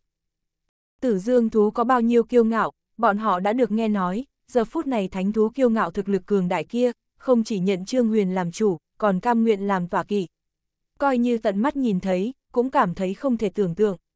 Leo lên cổ kiệu, nhìn tử dương thú phi hành lướt nhanh như gió, mọi người vẫn không có tỉnh táo lại. Ta nghe lão sư nói qua, chỉ cần ai tìm được tử dương tiền bối, người đó là viện trưởng. Buồn bực cả buổi, tiết chân dương kìm nén đến sắc mặt đỏ lên. Lão sư hắn tu trường thanh là võ ký học viện viện trưởng, từng chuyên môn nói qua, thầy Mộc đã nói, ai tìm được tử dương thú, người đó trở thành viện trưởng, hiện tại thánh thú này nhận Trương Huyền làm chủ. Chẳng lẽ, bị ép làm thôi, ai, không phải ta mong muốn. Thấy hắn đoán ra, Trương Huyền cũng không có gì cần giấu giếm, than thở một tiếng, lắc đầu. Nếu không phải thấy viện trưởng có thể tùy ý đọc sách, hắn mới không nguyện ý làm, phiền toái. Vốn cũng không phải chuyện gì tốt, không cần thiết ngạc nhiên. Bị ép, làm, không phải ngươi mong muốn. Ba người hồ yêu yêu, tiết chân dương nhìn nhau, từng người mắt trợn trắng. Làm viện trưởng cũng có thể bị ép, loại chuyện tốt này, làm sao không tới phiên chúng ta. Trên thực tế, chúng ta cũng muốn bị ép một chút. Hồ yêu yêu, người đánh một quyền cho ta xem xem. Không tiếp tục xoắn suýt vấn đề này, Trương Huyền nhìn về phía hồ yêu yêu. Đáp ứng ngô dương tử phải chiếu cố hậu bối của đối phương, đương nhiên sẽ không nuốt lời. Vâng, biết hắn muốn hỗ trợ chỉ điểm, hồ yêu yêu nhẹ gật đầu, đánh ra một quyền. Nhìn một hồi, biết nàng tu luyện thiếu hụt, Trương Huyền bắt đầu chỉ điểm. Không thể không nói, hồ yêu yêu ra học uyên thâm, lại thêm thiên phú cực mạnh, cơ sở vẫn tương đối vững chắc, trải qua chỉ điểm, tiến bộ rất nhanh, nhất là chức nghiệp kinh hồng, phối hợp dáng người yêu nghiệt, một khi múa, coi như bán thánh cũng khó chống chọi mị hoặc. Nhìn thấy hồ yêu yêu tiến bộ rõ ràng, mấy người khác rốt cuộc kìm nén không được, đến đây hỏi thăm. Trương Huyền cũng nhất nhất chỉ điểm, bốn người đều chiếm được chỗ tốt cực lớn. Mặc dù muốn đột phá bán thánh rất khó, nhưng cũng để tu vi càng thêm vững chắc, chỉ cần lấy được xích huỳnh quả, đột phá tuyệt đối là 10 phần chắc chín. Nửa ngày thời gian, thoáng một cái đã qua, đi tới vị trí xích huỳnh quả, mặt trời vừa vặn từ phương đông nhảy ra. Nói cách khác, tử dương thú đi còn nhanh hơn Trương Huyền dự liệu, thời gian nửa đêm liền tới, so với ngồi linh thú của Đồng Hân, tốc độ tăng lên trọn vẹn 10 lần. Cũng khó trách, thực lực của tử dương thú đã đến thánh giả nhị trọng, bất kể là tốc độ hay sức chịu đựng, tự nhiên càng thêm cường đại hơn trước kia. Dừng lại ở chỗ này đi. Đi tới một sơn cốc, mọi người rơi xuống. Tử dương tiền bối tốt nhất không nên đi vào, bởi vì bên ngoài xích huỳnh quả thụ, có hai linh thú thủ hộ, một khi phát hiện tiền bối, biết không bảo vệ được, sợ sẽ trực tiếp ra tay hủy thánh dược. Thật muốn như vậy, coi như giết chúng nó cũng vô ích. Đồng Hân mở miệng nói. Linh thú không ngốc, biết tầm quan trọng của linh dược, một khi phát hiện khó chống chọi, vô cùng có khả năng ra tay hủy đi. Nếu thực như thế, chẳng khác nào tới không. Đúng vậy, thực lực mấy người chúng ta đều yếu hơn chúng nó, qua lời nói, mới không bị phòng bị, mới có thể đánh bất ngờ lấy linh dược đến tay. Long Thương Nguyệt cũng nhẹ gật đầu. Bọn họ chuyên môn nghiên cứu qua dược liệu này cùng linh thú thủ hộ ở bên cạnh, nếu không mời thầy của bọn hắn, hoặc bất luận một vị trưởng lão nào là được, không cần thiết nhất định phải tìm Trương Huyền. Ta có thể che lấp khí tức, làm cho đối phương không phát hiện được.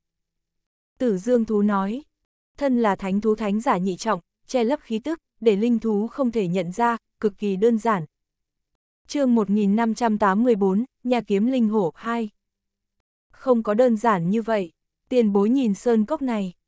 Đồng Hân lắc đầu. Sơn cốc, Trương Huyền cùng tử dương thú đều nhìn về phía trước. Sơn cốc chật hẹp, thoạt nhìn như cái dương phong kín, trong đó linh khí nồng đậm, cho người ta một loại cảm giác chiếm hết phong thủy. Trong cốc mọc đầy đóa hoa màu đỏ thắm như cây xấu hổ, lít nha lít nhít, nhuộm cả sơn cốc đều biến sắc. Chẳng lẽ là, chu tu hoa? Tên một loại cây xuất hiện ở trong óc, Trương Huyền nhướng mày. Chu tu hoa, có chút tương tự cây xấu hổ kiếp trước, đụng phải vật lạ sẽ sớm báo động trước, sẽ còn căn cứ thực lực khác biệt cải biến màu sắc.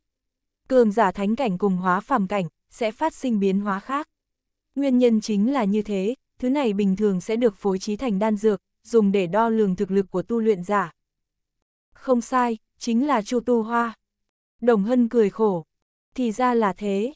Trương Huyền hiểu được. Mặc dù tử dương thú có thể áp chế tu vi, làm cho đối phương không cách nào phát hiện, nhưng thời điểm đi đường, một khi tán giật lực lượng, sẽ tiếp xúc những chu tu hoa này, dễ dàng liền bị đo lường ra thực lực chân thật. Mặc dù đối phương nhìn thấy cường giả đi vào, tỷ lệ hủy đi xích huỳnh quả không lớn, nhưng mọi người không dám mạo hiểm. Vậy thì tốt, tử dương, người đi nghỉ trước đi. Biết tình huống, Trương Huyền khoát tay áo. Nếu thật xuất hiện nguy hiểm, cần ngươi ra tay cũng không muộn. Vâng, chủ nhân. Tử dương thú cũng không nhiều lời, bay về nơi xa, đi đến chỗ mọi người nhìn không thấy, bị thu vào tổ ong. Lấy thực lực của Trương Huyền bây giờ, chỉ cần đối phương không đến bán thánh, liền không khả năng là đối thủ của hắn, lại nói, thật có cường giả này, thiên nghĩ phong xào trong tay, tùy thời có thể thả tử dương ra, không có gì đáng ngại. Đi vào đi. Mấy người không còn do dự, đi đến trong sơn cốc. Chu tu hoa trong cốc lập tức nhộn nhạo, giống như truyền lại một loại tin tức nào đó. Thủ hộ xích huỳnh quả đến cùng là linh thú gì? Vừa đi về phía trước, Trương Huyền vừa nói. Là hai con nha kiếm linh hổ tu vi tầm phong cảnh đỉnh phong. Hồ yêu yêu nói. Nha kiếm linh hổ, khó trách. Trương Huyền gật đầu.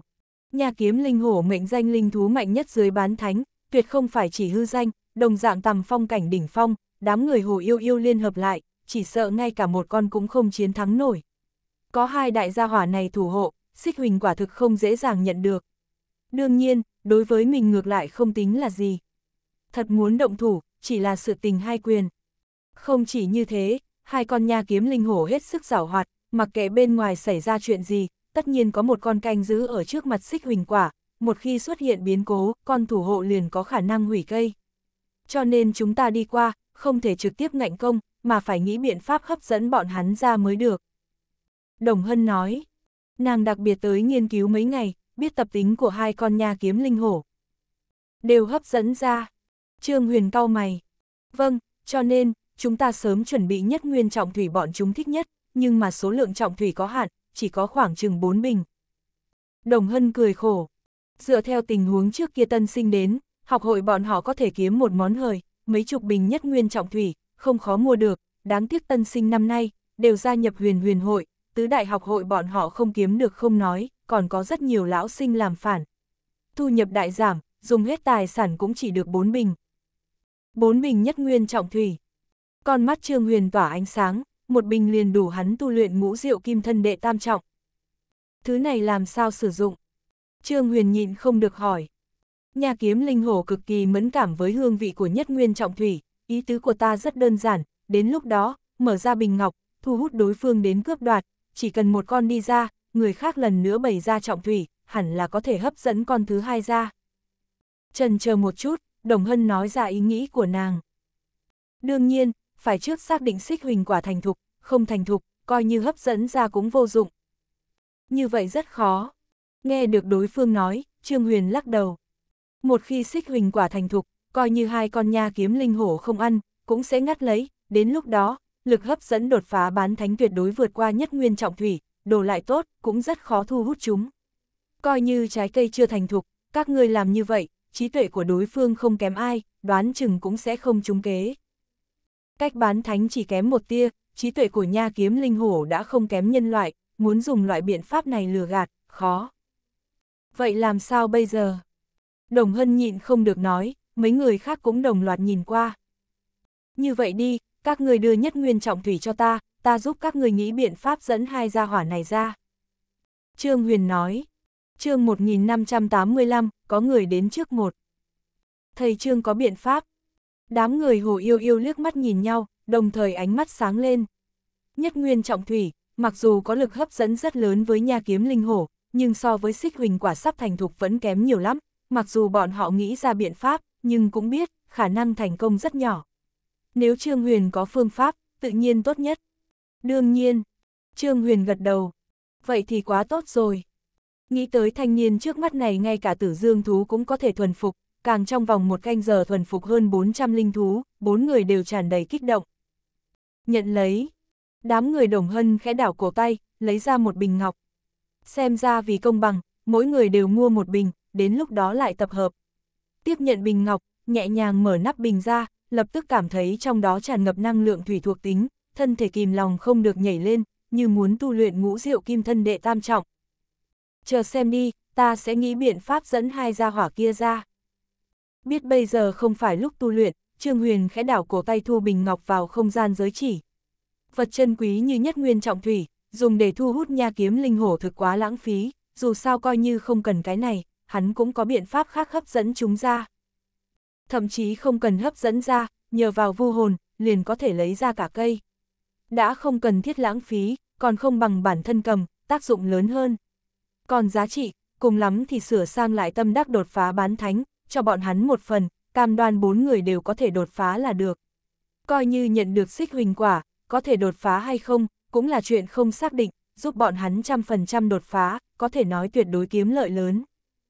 Đúng rồi, các người còn có kế hoạch gì, không bằng cùng nhau nói nghe một chút, để ta cân nhắc xem có thể làm được hay không. Thu trọng thủy lại, Trương Huyền tiếp tục hỏi. Chúng ta nghĩ dẫn hai gia hỏa kia ra, dùng trận pháp vây khốn, sau đó hái xích huỳnh quả xong liền rời đi, cái khác thì không có chuẩn bị. Đồng Hân nói, trận pháp, muốn vây khốn nhà kiếm linh hồ tầm phong cảnh đỉnh phong, cần có trận pháp ít nhất đến cấp 6, hơn nữa còn phải nhanh chóng kích hoạt mới được. Các người có dạng trận bàn này. Trương Huyền nghi ngờ nhìn qua. Ân, vì phòng ngừa ngoài ý muốn, chúng ta mỗi người đều chuẩn bị một cái, theo thứ tự là khốn trận, huyễn trận, mê trận cùng sát trận. Mọi người đã liên hợp, cũng không có gì phải giấu giếm. Mặc dù trận bàn cấp 6 có thể vây khốn đối phương, thậm chí chém giết, nhưng cần chân khí duy trì, một khi chân khí tiêu tán liền vô dụng. Tác dụng không quá lớn. Trương Huyền lắc đầu. Vật như trận bàn, mặc dù dùng thuận tiện, người không hiểu trận pháp cũng có thể sử dụng, nhưng cũng có chỗ xấu, cái kia chính là nhất định phải dựa vào chân khí mới có thể vận chuyển, coi như tu luyện giả tích lũy lại hùng hậu, nhưng chân khí trung quy có thời điểm tiêu hao sạch sẽ. Bởi vậy, có thể dùng trận bàn ở thời gian ngắn khẩn cấp, nhưng duy trì thời gian dài liền khó khăn. Thực lực của nha kiếm linh hổ mạnh mẽ, bọn họ chém giết rất khó, chỉ bằng vào vây khốn liền muốn lấy được xích huỳnh quả, sẽ phiền phức hơn tưởng tượng. Khó trách muốn tìm bản thân, đối với bọn hắn mà nói, lấy ra biện pháp tốt nhất, xác suất thành công chỉ sợ ngay cả hai thành cũng không có. Sắc mặt mọi người đỏ lên, bọn họ cũng biết tình huống này. Thầy Trương, nếu như có thể giúp chúng ta lấy được xích huỳnh quả, mỗi người chúng ta chỉ cầm một trái, còn lại đều thuộc về ngươi. Trần chờ một chút, Hồ Yêu Yêu cắn răng nói. Ba người khác cũng đồng thời gật đầu, chính bọn hắn đến, khả năng thành công nhỏ như vậy, thực sự không tiện lấy nhiều. Dù sao mục đích là đột phá bán thánh, chỉ cần có thể thành công, một trái, hai trái, hiệu quả đều giống nhau. Lấy được rồi nói sau. Trương Huyền lắc đầu. Đồ vật còn chưa lấy được, liền nghĩ phân phối, giống như nhìn vịt trời đang bay mà nghĩ tới vịt quay trên bàn vậy, không quá hiện thực. Mọi người cũng rõ ràng đạo lý này, đồng thời gật đầu, năm người tiếp tục đi về phía trước. Vòng qua chỗ ngoặt, chính là vị trí của xích huỳnh quả, chúng ta cẩn thận một chút. Nhìn địa hình một chút, Đồng Hân nhịn không được nhắc nhở một câu. Mọi người gật đầu, từng người ngừng thở. Mặc dù có chu tu hoa báo động trước, nhà kiếm linh hổ khả năng sớm đã biết có người đi vào, nhưng chỉ cần thực lực không cao hơn đối phương, liền sẽ không kiêng kỵ, chỉ cần ẩn tàng tốt, tìm cơ hội ra tay, xác suất thành công còn là rất lớn. Không đúng. Đi về phía trước mấy bước, đang muốn vòng qua hẻm núi, đột nhiên Trương Huyền nhíu mày. Làm sao vậy? Thấy hắn dừng lại, mọi người không dám đi về phía trước. Không có trả lời câu hỏi của bọn hắn, Trương Huyền tiến về phía trước một bước, đi tới đằng sau một nham thạch, ngồi xổm xuống. Các ngươi nhìn, đám người hồ yêu yêu cúi đầu nhìn lại, liền thấy phía sau nham thạch, có một đống bùn đất tươi mới, xem bộ dáng là từ bên ngoài mang vào, không hợp mặt đất trước mắt. Đây là... Mọi người sững sờ. Sơn cốc này, linh khí đầy đủ, khí hậu khô hanh, vừa nhìn liền biết rất lâu không có nước mưa, mà những bùn đất này mới mẻ ướt át. Nếu không nhìn lầm, có người tiến vào trước chúng ta. Trương Huyền nói, Minh Lý Chi nhãn có thể phân tích ra bản chất, nắm bùn đất này, người khác nhìn không ra cái gì, nhưng hắn có thể nhẹ nhõm nhìn thấy, cũng nhìn ra lai lịch. Có người đi vào, mấy người biến sắc, sở dĩ bọn họ để bụng xích huỳnh quả như thế, nguyên nhân chủ yếu nhất chính là, những người khác không biết, tin tức độc nhất, một khi bị ngoại nhân biết, muốn có được, chỉ sợ cũng không dễ dàng như vậy. chương 1586, có người đến trước hai. Ân, Trương Huyền gật đầu, nhìn mức độ bùn đất mới mẻ, có lẽ đi vào chưa tới 10 phút, hơn nữa. Đại khái là hai vị, trong đó mạnh nhất đã đến bán thánh. Thực lực, cũng có thể nhìn ra. Mọi người ngẩn ngơ, bùn đất chưa khô, có thể suy tính ra thời gian đi vào, nhưng thực lực làm sao nhìn ra được. Chỉ bằng vào chút bùn đất ấy. Dọc đường chúng ta tới, không thấy được bất luận dấu vết gì để lại, nói rõ đối phương tất nhiên là ngự không bay tới, đã ngự không, tất nhiên có chân khí ngoại phóng. Ngừng ở đây một chút, lưu lại dấu vết trên mặt đất, thực lực liền có thể suy tính ra. Trương Huyền thản nhiên nói, bán thánh đã có thể miễn cưỡng phi hành, nhưng ngự không huyệt chưa mở ra, coi như bay, cũng không ổn định, chân khí rất dễ dàng tiết ra ngoài. Nếu như đối phương không dừng lại ở nơi này một chút, có lẽ nhìn không ra cái gì, nhưng ngừng một chút, muốn suy tính ra thực lực, vẫn rất đơn giản. Lợi hại, mọi người bội phục không thôi, cùng là danh sư, nhưng muốn nói quan sát chi tiết, so với vị này trước mắt, lại kém quá xa. Bán thánh tới, bọn chúng sẽ không hủy linh dược chứ. Tiết chân dương biến sắc. Cường giả bán thánh bay thẳng vào, nhà kiếm linh hổ tất nhiên cảnh giác, một khi dược hủy, bọn họ liền tới không. Trước đừng nghĩ hủy hay không hủy, vẫn là trước xem người đi vào kia có lai lịch gì, đồ vật bị bọn họ lấy, không khác gì bị hủy. Hồ yêu yêu lắc đầu. Nàng nói là lời thật, nếu như xích huỳnh quả bị người trước nhận được, còn có thể ra tay cướp đoạt hay sao? Thân là danh sư, một khi cướp đoạt bảo vật bị tra ra thân phận, đời này liền xong. Mọi người nhẹ gật đầu, lặng lẽ đi thẳng về phía trước, vòng qua một đoạn thông đạo uốn lượn, một chỗ mở rộng xuất hiện ở trước mắt. Nơi này khoảng mấy ngàn mét vuông, phảng phất như có người dùng đại lực lượng khai quật ra, cuối cùng dốc đứng trên vách đá, là sơn động cự đại, có lẽ xích huỳnh quả ở bên trong. Ở dưới minh lý chi nhãn chiếu rọi, có thể nhìn thấy, một cỗ linh khí nồng nặc, thỉnh thoảng từ bên trong sao động ra. Quả nhiên có người. Đồng hân nhíu mày. Theo ánh mắt của nàng nhìn lại, quả nhiên thấy hai bóng người, đứng ở đằng sau một nham thạch phía ngoài hang động, tựa hồ đang làm thứ gì. Một bán thánh, một cái thực lực không kém chúng ta nhiều, tầm phong cảnh đỉnh phong. Long Thương Nguyệt nhìn ra thực lực của đối phương, lần nữa nhìn về phía Trương Huyền, không khỏi phục sát đất, giống đối phương suy đoán như đúc. Trên người bọn họ, cũng bận danh sư bào, sao không giống chúng ta nhỉ? Tiết chân dương cau mày. Lúc này mọi người mới chú ý quần áo của hai người, tất cả đều là màu nâu xanh, khác biệt danh sư bào bình thường, lộ ra càng thêm ngắn nhỏ vừa người, ngực có huy chương danh sư, chỉ là khoảng cách khá xa, thấy không rõ lắm, nhưng khác biệt huy chương ôn nhuận như biển bình thường, mang theo hương vị sắc bén, nhìn nhiều một hồi, dường như sẽ đâm rách con mắt. Coi như không giống, ấn ký đặc hữu của huy chương danh sư, vẫn có thể cảm ứng được, bọn họ cũng là danh sư, nhưng hẳn không phải người hồng viễn đế quốc, loại cao thủ cấp bậc này của học viện cùng danh sư đường, ta đều gặp và biết. Long Thương Nguyệt nói, ân, mấy người tiết chân dương nhẹ gật đầu, bọn họ là tinh anh của danh sư học viện, nếu như hai người này là hồng viễn đế quốc, khẳng định có thể nhận ra, hiện tại chưa bao giờ thấy qua, hẳn là địa phương khác tới. Dãy núi này, đã ra khỏi biên cương hồng viễn đế quốc, có danh sư địa phương khác tới, cũng thuộc về bình thường. Cùng là danh sư, mọi người không có quá nhiều so đo, ai lấy được bảo bối trước, liền của người đó, có điều, một khi tới tay, liền không thể tranh đoạt, coi như muốn cướp, cũng phải dựa theo quy củ của danh sư. Đồng Hân nói, danh sư khác biệt, gặp được cùng một kiện bảo vật, mặc kệ thủ đoạn, ai lấy trước, liền về người đó. Không cho phép giết người đoạt bảo, nếu không, vì một đồ vật, giết không rõ sống chết, đường đường danh sư còn mặt mũi nào giáo hóa chúng sinh. Đương nhiên, nếu như không cướp được, mà muốn, có thể dùng thủ đoạn của danh sư thương nghị với đối phương, hoặc mua sắm, hoặc tỉ thí, nhưng nếu đối phương không đồng ý, cũng không có biện pháp. Trước lấy được xích huỳnh quả, mới có quyền chủ động, nếu không, đối phương lấy được, chúng ta liền vô vọng. Vẻ mặt hồ yêu yêu nghiêm túc, đang muốn nói tiếp, đột nhiên nhíu mày. Bọn họ đang làm gì?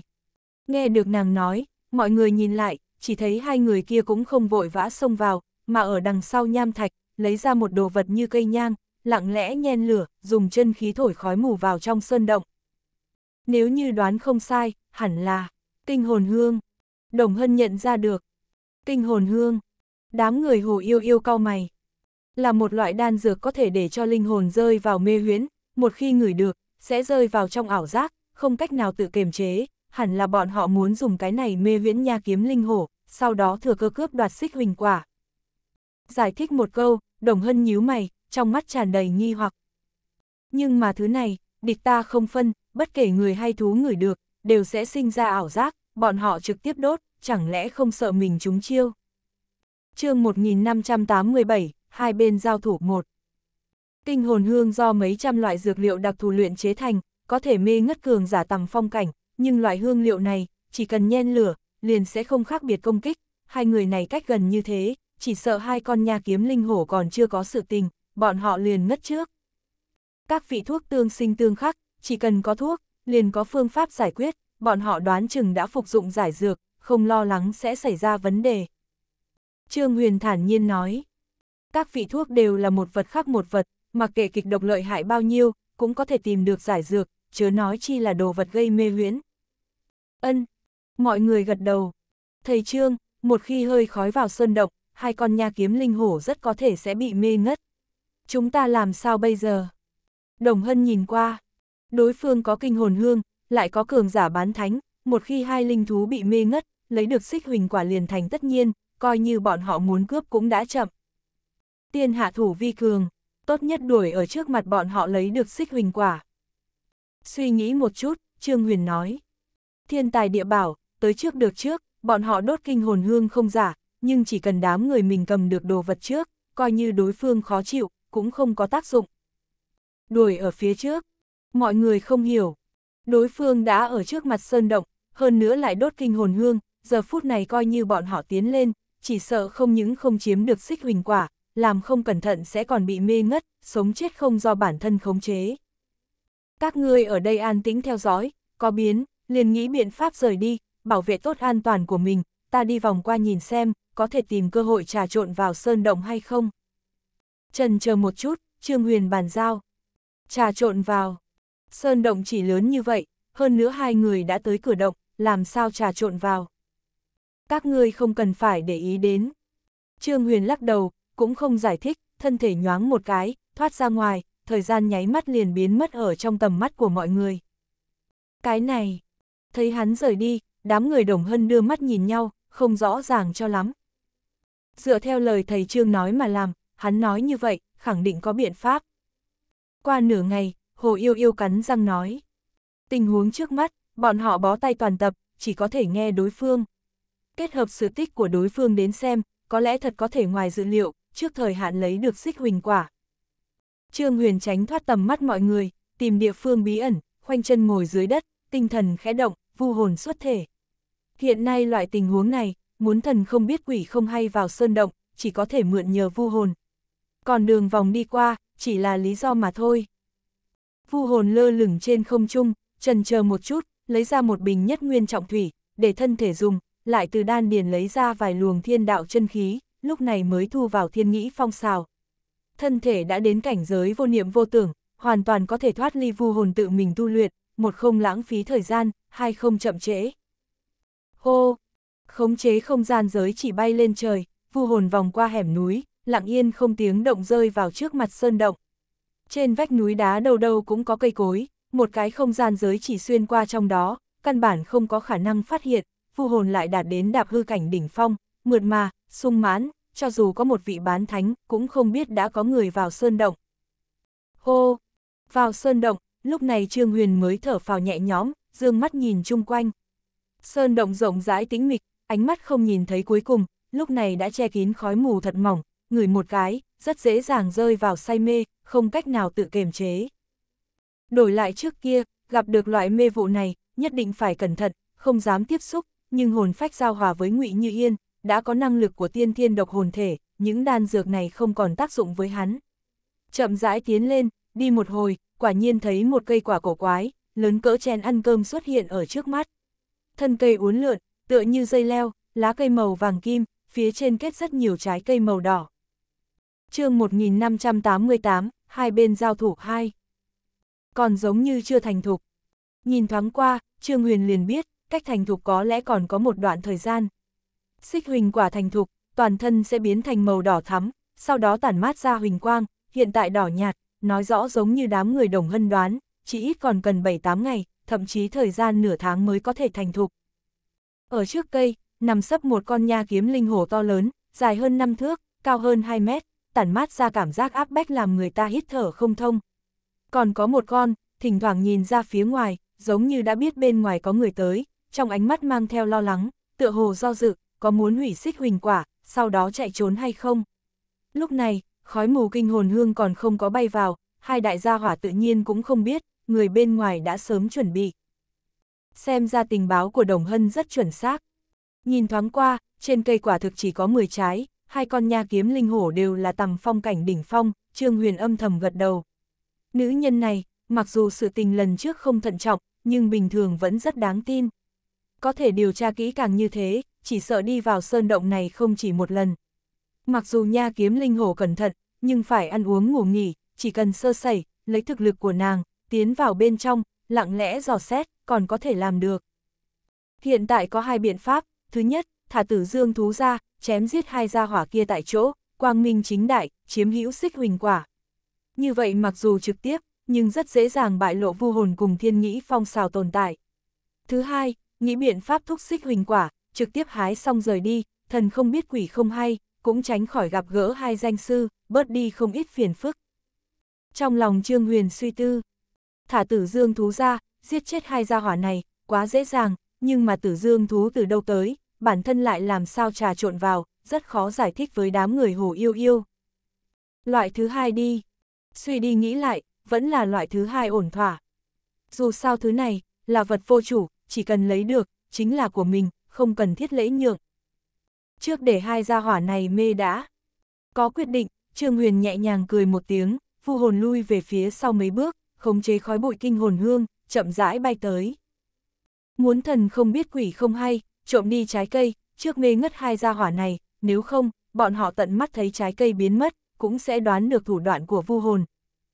Kinh hồn hương lặng yên không một tiếng động, ở dưới vu hồn khống chế, càng thêm nồng đậm, hai con nha kiếm linh hổ đang phòng bị tu luyện giả phía ngoài sông tới, căn bản nghĩ không ra, đã có người hạ độc chúng, không hề phát giác, người mấy lần, liền toàn thân lay động, tựa như uống say, rơi vào mê huyễn. Thấy hai gia hỏa biến thành bộ dáng này, Trương Huyền biết, đã mất đi sức phán đoán, mấy bước đi tới trước xích huỳnh quả. Tinh thần khẽ động, thiên đạo chân khí hỗn hợp địa mạch linh dịch chảy xuôi. Hồ yêu yêu nói qua, xích huỳnh quả còn chẳng biết lúc nào thành thục, hắn liền dám tới, không sợ chậm trễ nghi thức viện trưởng kế vị, chính là bởi vì có thủ đoạn này. Lúc trước thúc qua thập diệp hoa, biết phương pháp, địa mạch linh dịch hỗn hợp thiên đạo chân khí, chui vào thân cây, không đến 10 phút đồng hồ, trái cây màu đỏ trước đó liền mùi thơm nước mũi, trở nên đỏ thấm, tản mát ra huỳnh quang. Thành thục, ánh mắt sáng lên, bàn tay vạch một cái, thu 10 trái xích huỳnh quả vào hộp ngọc, lúc này Trương Huyền mới thở ra một hơi. Quay đầu nhìn thoáng qua, thấy hai gia hỏa kia rơi vào mê huyễn, vẫn lảo đảo như cũ, còn không có tỉnh lại, Trương Huyền thở phào nhẹ nhõm, mang theo không gian giới chỉ, vội vã đi ra ngoài. Mới vừa đi tới cửa động, liền thấy hai vị danh sư đốt kinh hồn hương chậm rãi đi tới, như muốn nhìn một chút, nhà kiếm linh hổ có chúng chiêu hay không. Không để ý tới đối phương, Trương Huyền nhẹ nhàng cười một tiếng, khống chế không gian giới chỉ, bay thẳng ra ngoài, không lâu sau lần nữa trở lại không chung. Một lần nữa trở lại địa phương mà đám người hồ yêu yêu không phát hiện được, lúc này mới thả thân thể ra, tinh thần quay về. Thời gian vu hồn ăn cắp xích huỳnh quả, thân thể đã tu luyện ngũ diệu kim thân đến đệ tam trọng.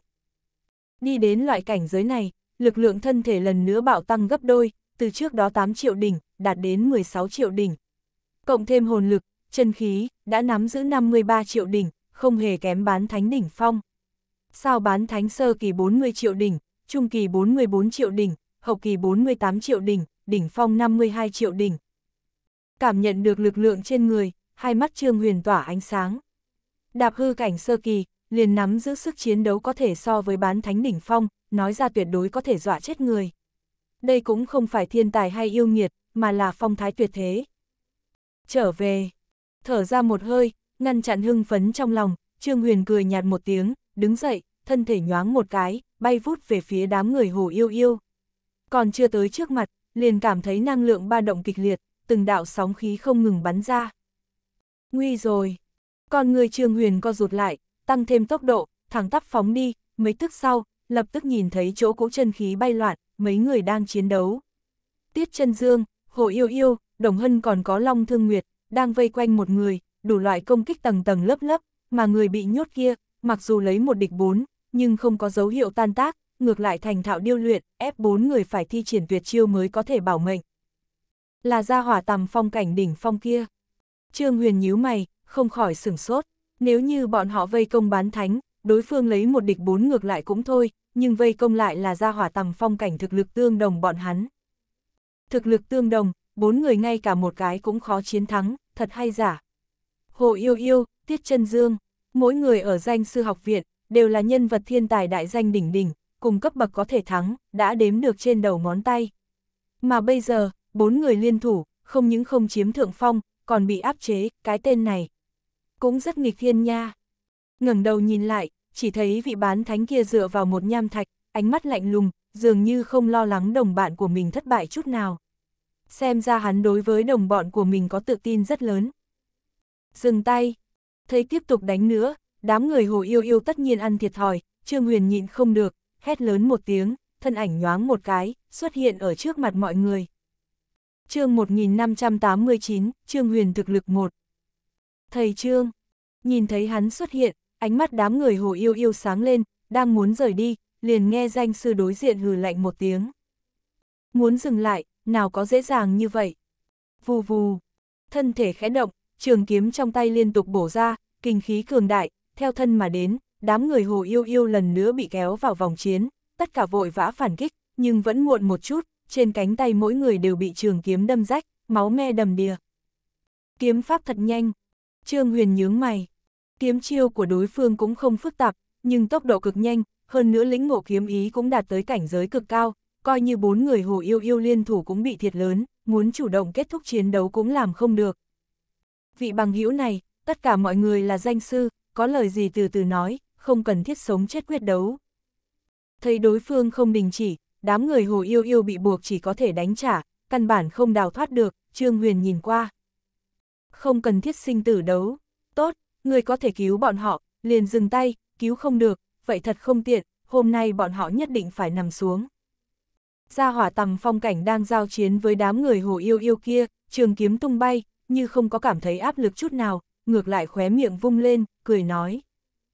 Thanh âm cực kỳ trẻ tuổi, lúc này Trương Huyền mới chú ý dung mạo, tuổi tác người này thế còn nhỏ hơn đám người hồ yêu yêu một chút, chỉ khoảng 20 tuổi. Bằng chừng ấy tuổi, liền đi đến tầm phong cảnh đỉnh phong, càng đè bốn người hồ yêu yêu, bị ép chịu đòn, thực lực có thể nói kinh khủng. Bán thánh cách đó không xa tuổi tác cũng không lớn, bộ dáng chỉ 24-25 tuổi. Đã như vậy liền đắc tội. Thấy mọi người không đào thoát được, lại không ra tay, khẳng định thương thế sẽ càng ngày càng nặng, Trương Huyền không nói nhảm nữa, thân thể nhoáng một cái, thẳng tắp vọt tới vòng chiến.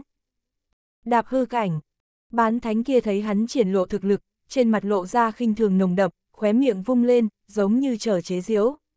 Tầm phong cảnh đỉnh phong đối chiến tầm phong cảnh đỉnh phong, cũng không phải đối thủ, người một đạp hư cảnh sơ kỳ xông lại, không phải muốn chết thì là làm gì.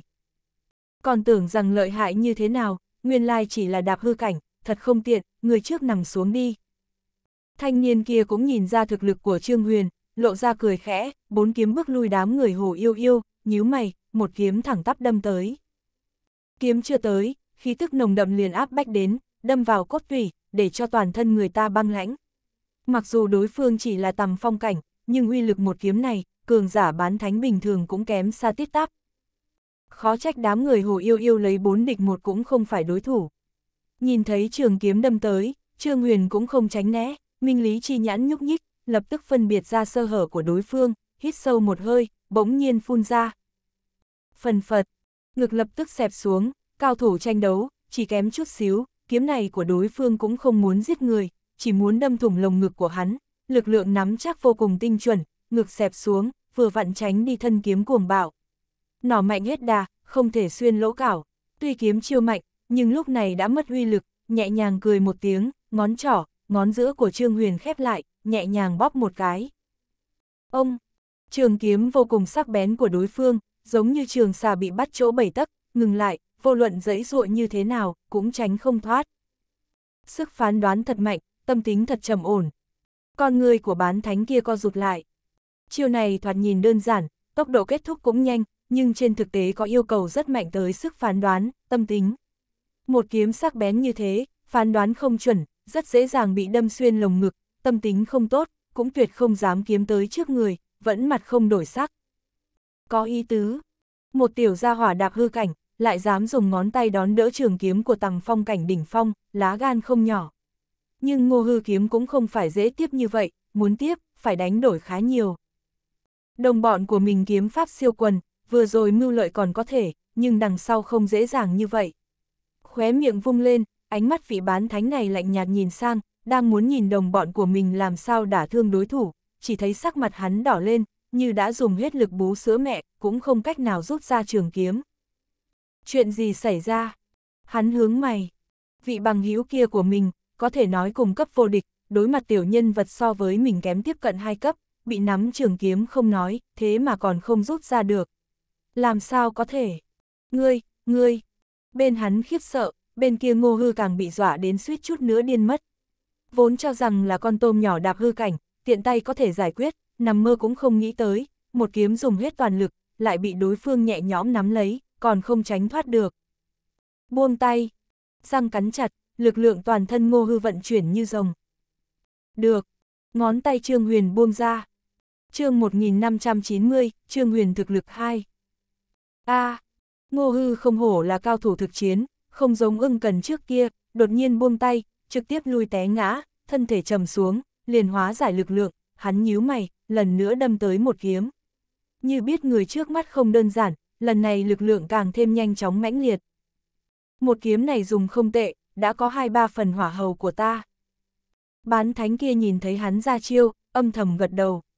Một kiếm này, vừa nhanh vừa cấp tốc, một khi ra tay, có loại cảm giác ngoài ta còn ai. Mặc dù chỉ là hai ba thành trình độ của hắn, nhưng cũng cực kỳ đáng sợ, hai người cách gần như thế, đừng nói muốn ra tay kẹp lấy, coi như tránh né chỉ sợ cũng không kịp, bán thánh trung kỳ bình thường gặp gỡ, chỉ sợ chỉ có một đường nuốt hận có thể đi. Không cần nghĩ, gia hỏa đạp hư cảnh đối diện thua không nghi ngờ. Không biết sống chết, thấy mình buông tha đối phương, thế mà còn tàn nhẫn như vậy, nếu phản ứng không kịp, tất nhiên sẽ trọng thương, coi như không chết, khẳng định cũng nằm trên giường mấy tháng. Trên mặt Trương Huyền lộ ra vẻ không vui, nhướng mày, tránh cũng không tránh, ngón giữa uốn lượn, nhẹ nhàng bắn ra. Đinh, một tiếng vang giòn, trường kiếm của đối phương tựa như thủy tinh đánh nát, trong nháy mắt vỡ vụn mấy đoạn, từ không trung rất xuống. Mới vừa rồi ra tay nắm, thư viện đã miêu tả trường kiếm của đối phương kỹ càng, biết thiếu hụt ở nơi nào, giờ phút này lại phối hợp lực lượng có thể so với bán thánh đỉnh phong của hắn, một chỉ liền bắn vỡ nát. Cái gì? Nhìn trường kiếm linh cấp tuyệt phẩm của mình, bị ngón tay của đối phương phá hủy, ngô hư thiếu chút nữa ngất đi, không ngừng run rẩy gần như điên rồi. Trình độ cứng cáp của trường kiếm linh cấp tuyệt phẩm, coi như bán thánh muốn hủy cũng khó khăn, trong chiến đấu, bị một chỉ của đối phương bắn thành như vậy. Đến cùng làm sao làm được? Trong mắt của bán thánh kia cũng sắp rơi ra, mới vừa rồi cảm giác đối phương không trọng thương cũng tàn phế, kết quả người ta dùng một ngón tay liền bắn trường kiếm của ngô hư thành mảnh vỡ. Phần thực lực này, cũng quá đáng sợ đi, thật là đạp hư cảnh, làm sao có người ở đồng cấp còn lợi hại hơn bọn hắn. Đáng giận, trường kiếm vỡ vụn, ngô hư kinh ngạc một chút, thân thể nhoáng một cái, tiếp tục vọt tới. Ngay cả hắn cũng không tin, tên này kém mình tiếp cận hai đại cấp, có thể nhẹ nhõm đánh bại hắn. Thấy thanh niên này còn dám công kích, Trương Huyền lắc đầu, nắm đấm bốc lên, đưa về phía trước. Thiên đạo chi quyền, bành, ngô hư liền bị đánh trúng ngực, nằm dạp trên mặt đất, hộc từng ngụm máu, toàn bộ nội phủ đều bị lực lượng cường đại đánh vặn vẹo, quỳ trên mặt đất cả buổi không thở ra hơi. Ngươi, điều tức nửa ngày, lúc này mới hồi phục tinh thần lại, khuôn mặt ngô hư vặn vẹo, đang muốn tiếp tục tới chiến đấu, bán thánh kia mở miệng. Đủ rồi, còn ngại mất mặt chưa đủ. Vâng, ngô hư giấy ruộ đứng dậy, há miệng nuốt một viên thuốc, lúc này mới phát giác được thoải mái hơn rất nhiều, hung tợn nhìn Trương Huyền một cái, lại không động thủ nữa. Không tiếp tục để ý hai người này, Trương Huyền lấy ra hồ lô rượu, rót vào chân khí, để thương thế đám người hồ yêu yêu khỏi hẳn, lúc này mới quay đầu nhìn sang, nhướng mày. Hai vị, tất cả mọi người là danh sư, các ngươi vừa đến liền động thủ, hơn nữa tàn nhẫn như vậy, thật không để quy củ của danh sư đường vào mắt đi. Tàn nhẫn, giao xích huỳnh quả ra, chuyện ngày hôm nay coi như hết, nếu không, mấy người các ngươi đừng nghĩ đi. Ngô hư cắn răng, xích huỳnh quả, chúng ta ở đằng sau các ngươi, lúc nào cầm xích huỳnh quả. Tiết chân dương tính tình nóng nảy, có chút nhịn không được. Hai người này, trốn ở trước sơn động đốt khói, sau đó vọt vào, nhóm người mình ngay cả bên cạnh sơn động cũng chưa sờ qua, còn hỏi bọn hắn muốn xích huỳnh quả, hố người cũng không phải như vậy a. Trước đó chúng ta dò xét qua, xích huỳnh quả ở trong đó, kết quả lần nữa đi vào liền không có, hơn nữa cây ăn quả rõ ràng bị người dùng đại lực lượng thúc giục. Sơn cốc chỉ có mấy người, trừ bọn ngươi ra còn ai vào đây. Ngô Hư nói, hai con nha kiếm linh hổ đã sớm bị mê ngất, hơn nữa bọn họ cũng xem qua, hai gia hỏa này không có dấu hiệu ăn trái cây, bởi vậy có thể biết được, tất nhiên là có người nhanh chân đến trước cướp đi đồ vật. Sơn cốc này, trừ bọn họ cũng chỉ có mấy người này, không cần nghĩ, cũng có thể đoán được. Chúng ta lấy được xích huỳnh quả, sớm đã đi, sẽ còn ở lại chỗ này nói nhảm với các ngươi. Nếu như ta đoán không sai, khẳng định là chính các ngươi hái, còn cố ý đổ tội. Hồ yêu yêu khẽ nói. Dưới cái nhìn của nàng, đối phương khẳng định đã hái trái cây, nhưng cố ý trả đũa, quả thực có nhục thân phận danh sư. Ngươi đánh giám. Ngô hư sầm mặt lại, đang muốn nói chuyện, bán thánh kia khoát tay áo. Được rồi. Nghe được hắn nói, ngô hư lập tức im miệng. Mấy vị bằng hữu tất cả mọi người là danh sư, không nên đột phá điểm mấu chốt, nếu như các người hái được xích huỳnh quả, chúng ta nguyện ý lấy phương thức danh sư tiến hành trao đổi, không biết có thể không? Bán thánh nhìn qua, thản nhiên nói. Phương thức danh sư. Trương Huyền nghi ngờ. Rất đơn giản, khiêu chiến các ngươi, trong các ngươi chỉ cần có người có thể tiếp được ta ba chiêu, chúng ta liền xoay người rời đi, lại không dây dưa. Không tiếp được, vậy thật không tiện, xin cho năm trái xích huỳnh quả. Bán thánh nói, tiếp được ba chiêu xoay người rời đi, không tiếp nổi chúng ta phải ra năm trái xích huỳnh quả. Ha ha, ngươi là tay không bắt sói sao, cũng dám nói phương thức trao đổi của danh sư. Trương Huyền nhướng mày. chương 1591, đỉnh đỉnh, tới phiên ngươi. một Dĩ nhiên không phải, các người thua, năm trái xích huỳnh quả, ta nguyện ý lấy 50 viên linh thạch thượng phẩm giá mua sắm. Bán thánh nói, 50 viên. Trương Huyền lắc đầu, lấy ra 5.000 viên linh thạch thượng phẩm, hiện tại ta liền có thể bán cho ngươi. Vì những xích huỳnh quả này, đám người hồ yêu yêu chuẩn bị nhất nguyên trọng thủy, rất nhiều trận bàn đều vượt qua giá tiền này, 50 viên mua 5 trái. Thật là nói khoác không biết ngượng, muốn mua cũng được, không có 5.000 viên, cút. Nhưng cẩn thận suy nghĩ, 50 viên linh thạch thượng phẩm cũng không phải giá tiền thấp. Người trẻ tuổi nói chuyện phải thận trọng, mặc dù thiên tư của ngươi không tệ, thực lực cũng rất tốt, nhưng trong mắt ta, không tính là gì. Coi như danh sư tầm đó không cho phép tùy ý chém giết, nhưng giáo huấn ngươi một trận, để tu vi ngươi toàn bộ phế, vẫn có thể làm được. Bán thánh híp mắt lại, thanh âm băng lãnh. Thế nào, không có tiền đổi uy hiếp. Trương Huyền nhẹ nhàng cười một tiếng. Không phải uy hiếp, mà là sự thật, bất kể danh sư hay cái gì, thực lực mới là trọng yếu nhất. Bán thánh hử lạnh một tiếng, nhíu mày, khí thức trên thân giống như lưỡi kiếm sắc bén bắn ra, áp đến cây cối chung quanh cúi đầu xuống. Cảm nhận được cỗ khí thức này, sắc mặt đám người hồ yêu yêu biến đổi. Bọn họ đã gặp không ít bán thánh, nhưng người trước mắt này, như một chuôi bảo kiếm sắc bén, bất cứ lúc nào cũng sẽ phá không mà xuống, coi như tổng thánh bình thường cũng không có loại thực lực này. Người ý tứ là, nắm tay người nào lớn, người đó có đạo lý. Không để ý tới đối phương uy hiếp, Trương Huyền mang theo trêu đùa nhìn qua. Không sai, mặc dù danh sư coi trọng quy củ, nhưng quy củ là nắm đấm đến đánh vỡ. Ta khuyên các ngươi thức thời một chút, ngoan ngoãn giao xích huỳnh quả ra, miễn tổn thương hòa khí, nếu không, không ngại tiến hành danh sư khiêu chiến với các ngươi. Đến lúc đó, chẳng những không có linh thạch, làm không cẩn thận còn chỉ có thể nằm trở về. Chắp hai tay sau lưng, bán thánh cười lạnh, mang theo ngạo nghễ. Mặc dù danh sư tầm đó không thể cướp đoạt, nhưng không có nghĩa là không thể so đấu. Nơi này không có danh sư khác tỏa chấn, lấy thực lực của đối phương, coi như cố ý chèn ép, cũng không có người có thể nói cái gì. Dù sao tuổi tác mọi người kém không nhiều, thực lực không bằng, là vấn đề của ngươi. Được a người đã nói như vậy, chúng ta cũng hết cách, a tử, qua chơi chết hắn. Thấy đối phương quyết ý dùng vũ lực giải quyết, Trương Huyền lắc đầu, hừ một tiếng. Hô! Mọi người còn không kịp phản ứng, tử dương thú liền từ trong sơn cốc bay tới, rơi ở trước mặt bán thánh. Vì không tiết lộ thiên nghĩ phong xào, thời điểm Trương Huyền lấy ra tử dương thú, bỏ ở sau một khối nham thạch to lớn, chỉ cần khoảng cách không phải quá xa, vẫn có thể tùy tiện làm được. Ân, bán thánh không nghĩ tới, đột nhiên thêm ra tử dương thú thánh giả nhị trọng, mặt biến sắc, bàn chân đạp mạnh mặt đất, đang muốn bay lên, chỉ thấy một bàn tay thô to chụp xuống. Bành! Thân thể cứng ngắc, lật bảy tám vòng, đâm vào trên vách núi đá cách đó không xa, phun ra một ngụm máu tươi. Mặc dù chiến lực của hắn kinh người, nhưng tử dương thú là thánh thú, trời sinh liền có thể vượt cấp chiến đấu, lại thêm cấp bậc vượt qua hắn quá nhiều, căn bản ngăn không nổi. Đáng giận, biết trốn không thoát, vẻ mặt trầm thấp suýt nhỏ máu, bán thánh khẽ đảo cổ tay, một thanh trường kiếm xuất hiện, thân thể nhoáng một cái, hóa thành một đạo kiếm mang, bắn về phía tử dương thú. Lợi hại, nhìn thấy động tác của hắn, Trương Huyền không ngừng gật đầu. Khó trách tên này tự ngạo như thế, quả thực có tư cách kiêu ngạo, chỉ bằng vào một kiếm này, đừng nói bán thánh, coi như tổng thánh bình thường chỉ sợ cũng khó chống chọi. Cho dù là hắn tới đối đầu, đoán chừng cũng chỉ có phần thua thiệt. Đáng tiếc, gặp phải tử dương thú, thánh thú của danh sư học viện, đủ loại chiến đấu gặp qua không biết bao nhiêu lần, làm sao sẽ sợ một bán thánh, cười nhạt một tiếng, bàn tay thô to lăng không chảo một cái, một cây đại thụ bị nhổ lên, xem như gậy gỗ, đưa tay quất tới. Bành! Trường kiếm của đối phương còn cách tử dương thú 7-8 mét, liền bị quất trúng đầu, lần nữa bay ngược ra, dính vào vách đá, mặt mũi tràn đầy máu tươi. Cả hai căn bản không phải một cấp bậc, hoàn toàn không có cần thiết chiến đấu. Ngươi! Giấy rụa từ trong vách đá nhảy xuống, bán thánh dùng một viên đan dược, hóa giải thương thế, răng cắn chặt. Tất cả mọi người là danh sư, ngươi lại cho trưởng bối thánh thú ra tay, có phải làm mất thân phận hay không?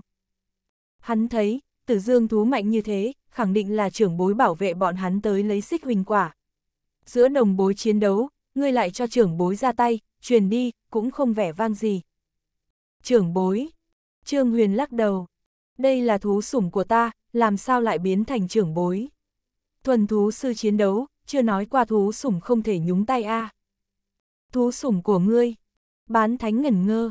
Hắn gặp qua không ít thuần thú sư, coi như đi đến thất tinh, cũng nhiều nhất thuần phục linh thú cao hơn bản thân một hai tiểu cấp, tiểu tử trước mắt này, chẳng qua là đạp hư cảnh, nhưng thuần phục thánh thú thần thức cảnh. Chuyện này, làm sao có thể, đạp hư, tàm phong, bán thánh, tòng thánh, trục không, thần thức. Chọn kém năm đại cấp. Không sai. Thần sắc của Trương Huyền thản nhiên, vẫy vẫy tay, tử dương thú lập tức đi tới, đầu lâu to lớn cọ cọ, hiện ra dị thường thân mật. Cái này, khóe miệng bán thánh co giật, mặt mũi xấu hổ.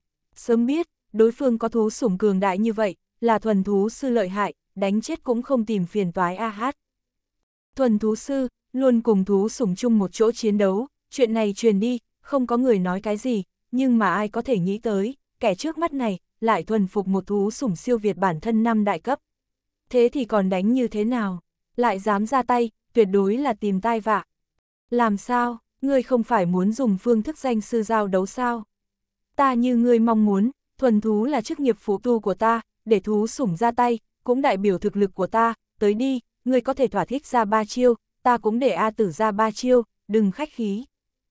Trương Huyền cười nói, chương 1592, đỉnh đỉnh, tới phiên ngươi. 2. Vừa rồi tên này không phải vô cùng phách lối, cảm thấy ăn chắc bọn họ sao. Đã như vậy, vậy thì tới đi, nếu ngươi có thể tiếp ba chiêu của A tử, coi như ta thua. Ta, thân thể nhoáng một cái, bán thánh suýt chút nữa phun ra một ngụm máu. Thánh giả nhị trọng tử dương thú, thật muốn ra tay, hoàn toàn có thể miểu sát hắn, còn ba chiêu. Một chiêu cũng không tiếp nổi. Thuần thú sư quả thực có thể mang theo thú sủng chiến đấu, nhưng chúng ta đều là danh sư, quá mức gỉ lại chức nghiệp thuần thú sư, có phải có chút bỏ gốc lấy ngọn hay không? Bán thánh hơi đỏ mặt nói. Người có dám so với ta một trận, chỉ cần không để tử dương tiền bối ra tay, thủ đoạn khác tùy ý. Chỉ cần trên chiến đấu có thể thắng được ta, chúng ta xoay người rời đi, không nói thêm nửa câu nói nhảm. Thủ đoạn khác tùy ý tuyển. Trương Huyền nhìn qua. Không sai. Bán thánh cắn răng. Chỉ cần đối phương không mượn tử dương thú, nhờ vào thực lực của hắn, muốn chiến thắng cực kỳ đơn giản. Mặc dù ngô hư không phải đối thủ, nhưng vừa rồi chiến đấu, hắn cũng nhìn, chỉ cần xuất thủ, ít nhất có 99% nắm chắc. Thua, bồi thường 100 viên linh thạch thượng phẩm, cùng ngươi so một trận cũng không sao. Trương Huyền nói, tay không bắt sói, khẳng định không được, muốn so, tự nhiên phải có tiền đặt cược. 100 linh thạch thượng phẩm, tốt, nếu ngươi thua, năm trái xích huỳnh quả. Thấy hắn đáp ứng, ánh mắt của bán thánh sáng lên. Ta còn không có thua. Trương Huyền lắc đầu. Hừ, thua hay không thua, không phải dựa vào nói, mà là thực lực. Bán thánh hít sâu một hơi, nhíu mày, trường kiếm trong tay lắc một cái, phát ra thanh âm thanh thúy. Tới đi. Trước không vội, ta lại xác nhận với ngươi một chút, ngươi nói chỉ cần ta không để A tử ra tay, dùng thủ đoạn gì cũng được, thắng liền nhận đúng không? Trương Huyền nói. Không sai, có điều, điều kiện tiên quyết là chiến đấu. Bán thánh nói. Ân, chính là chiến đấu. Trương Huyền gật đầu. Vậy thì tốt rồi. Bán thánh cười lạnh, lần nữa khôi phục tự tin, đứng thẳng ngạo nghễ, cả người tựa như trường kiếm dung hợp lại với nhau. Không thể không nói, tên này lý giải kiếm, không kém Trương Huyền chút nào, cũng đạt tới cảnh giới kiếm tâm nhân kiếm hợp nhất, nếu không phải như thế, cũng không có khả năng vượt cấp chiến đấu, một kiếm bắn ra, Tòng Thánh cũng khó tranh phong. Thầy Trương, cẩn thận! Thấy đối phương mặc dù bị tử dương tiền bối tát hai cái, nhưng thực lực không có tổn thất quá lớn, Hồ Yêu Yêu lo lắng nhìn qua. Nàng không biết thực lực chuẩn xác của Trương Huyền, nhưng cấp bậc bầy biện ở đó, muốn vượt qua bán thánh kia, khẳng định rất khó. Không chỉ nàng lo lắng, mấy người tiết chân dương cũng mang theo lo lắng. Không phải không tin Trương Huyền, mà là đối phương thực quá mạnh, bất luận khí tức hay kiếm ý, đều không phải người bình thường có thể chống lại. Yên tâm đi, hắn nói chỉ cần không cho A tử ra tay, hết thảy thủ đoạn khác đều có thể. Thấy vẻ mặt của mọi người, Trương Huyền cười cười, cổ tay khẽ đảo, mí mắt nhấc lên. Đình đình, tới phiên ngươi, qua đánh tên này một trận. Hô! Vừa dứt lời, một cái khí đỉnh cự đại xuất hiện ở trước mặt mọi người, trong bụng bốc lên hỏa diễm, đốt chung quanh một mảnh nóng rực. Đây là, học viện thủ hộ thánh khí, Kim Nguyên Đỉnh. Nhận ra được, hồ yêu yêu suýt chút nữa ngã sắp xuống. Học viện có một thủ hộ thánh khí, mặc dù chưa bao giờ thấy qua, lại thấy ở trên thư tịch, vô cùng mạnh mẽ, tử dương thú tiền bối cũng không phải đối thủ. Vốn cho rằng thầy Trương thuần phục tử dương tiền bối liền đủ nghịch thiên. Làm sao ngay cả hộ viện thánh khí cũng thuần phục. Mắt tiết chân dương, long thương nguyệt tối sầm lại, suýt ngất. Thánh khí thủ hộ học viện cũng thuần phục, khó trách muốn lập hắn làm viện trưởng, không lập cũng không được a hát. Thật không để hắn làm, mang đi hai thứ này, chẳng khác nào tài sản của danh sư học viện bị cuốn hết. Đám người hồ yêu yêu khiếp sợ, bán thánh đối diện chỉ cảm thấy trong lòng có một vạn con thần thú bay qua, miệng giống như cá chết mở ra, nhưng thở không được, suýt nín chết. Ngươi thuần phục một thánh thú ta nhịn, khả năng ngươi là vận khí tốt, gặp được thánh thú bị thương, có ân với nó. Nhưng thuần phục một kiện thánh khí, hơn nữa thánh khí lợi hại như thế, đến cùng làm sao làm được. Nhưng thời gian không cho phép hắn buồn bực, Kim Nguyên Đỉnh ở đối diện nghe được có thể đánh người, hưng phấn đến suýt nhảy lên, la hét một tiếng. Yên tâm đi chủ nhân, cam đoan hoàn thành nhiệm vụ, nhìn Kim Nguyên Đỉnh ta vài phút luyện hắn thành than. Ngay sau đó, bán thánh thấy hoa mắt, chỉ thấy ra hỏa kia cứ thế mà đánh tới. Răng rác, trường kiếm trong tay bị đụng vỡ nát, còn không có kịp phản ứng, liền bị đụng bay, xương ngực đứt mười mấy cây, sống lưng áp sát lên vách đá, đập ra một cái hố chữ đại, cuồng phun máu tươi. chương 1593, đột phá, tầm phong cảnh. 1. Lộc huynh, ngô hư vội vàng lao đến đỡ lấy hắn, đưa vào một viên đan dược chữa thương. Ngươi, ngươi, bán thánh dùng đan dược, vận chuyển chân khí mấy chu thiên, mới hơi thanh tỉnh một chút, lần nữa nhìn về phía trương huyền cách đó không xa, cảm giác sắp khóc. Ngươi một tiểu gia hỏa đạp hư cảnh, có thánh thú thần thức cảnh làm thú sủng thì cũng thôi, còn có một thánh khí.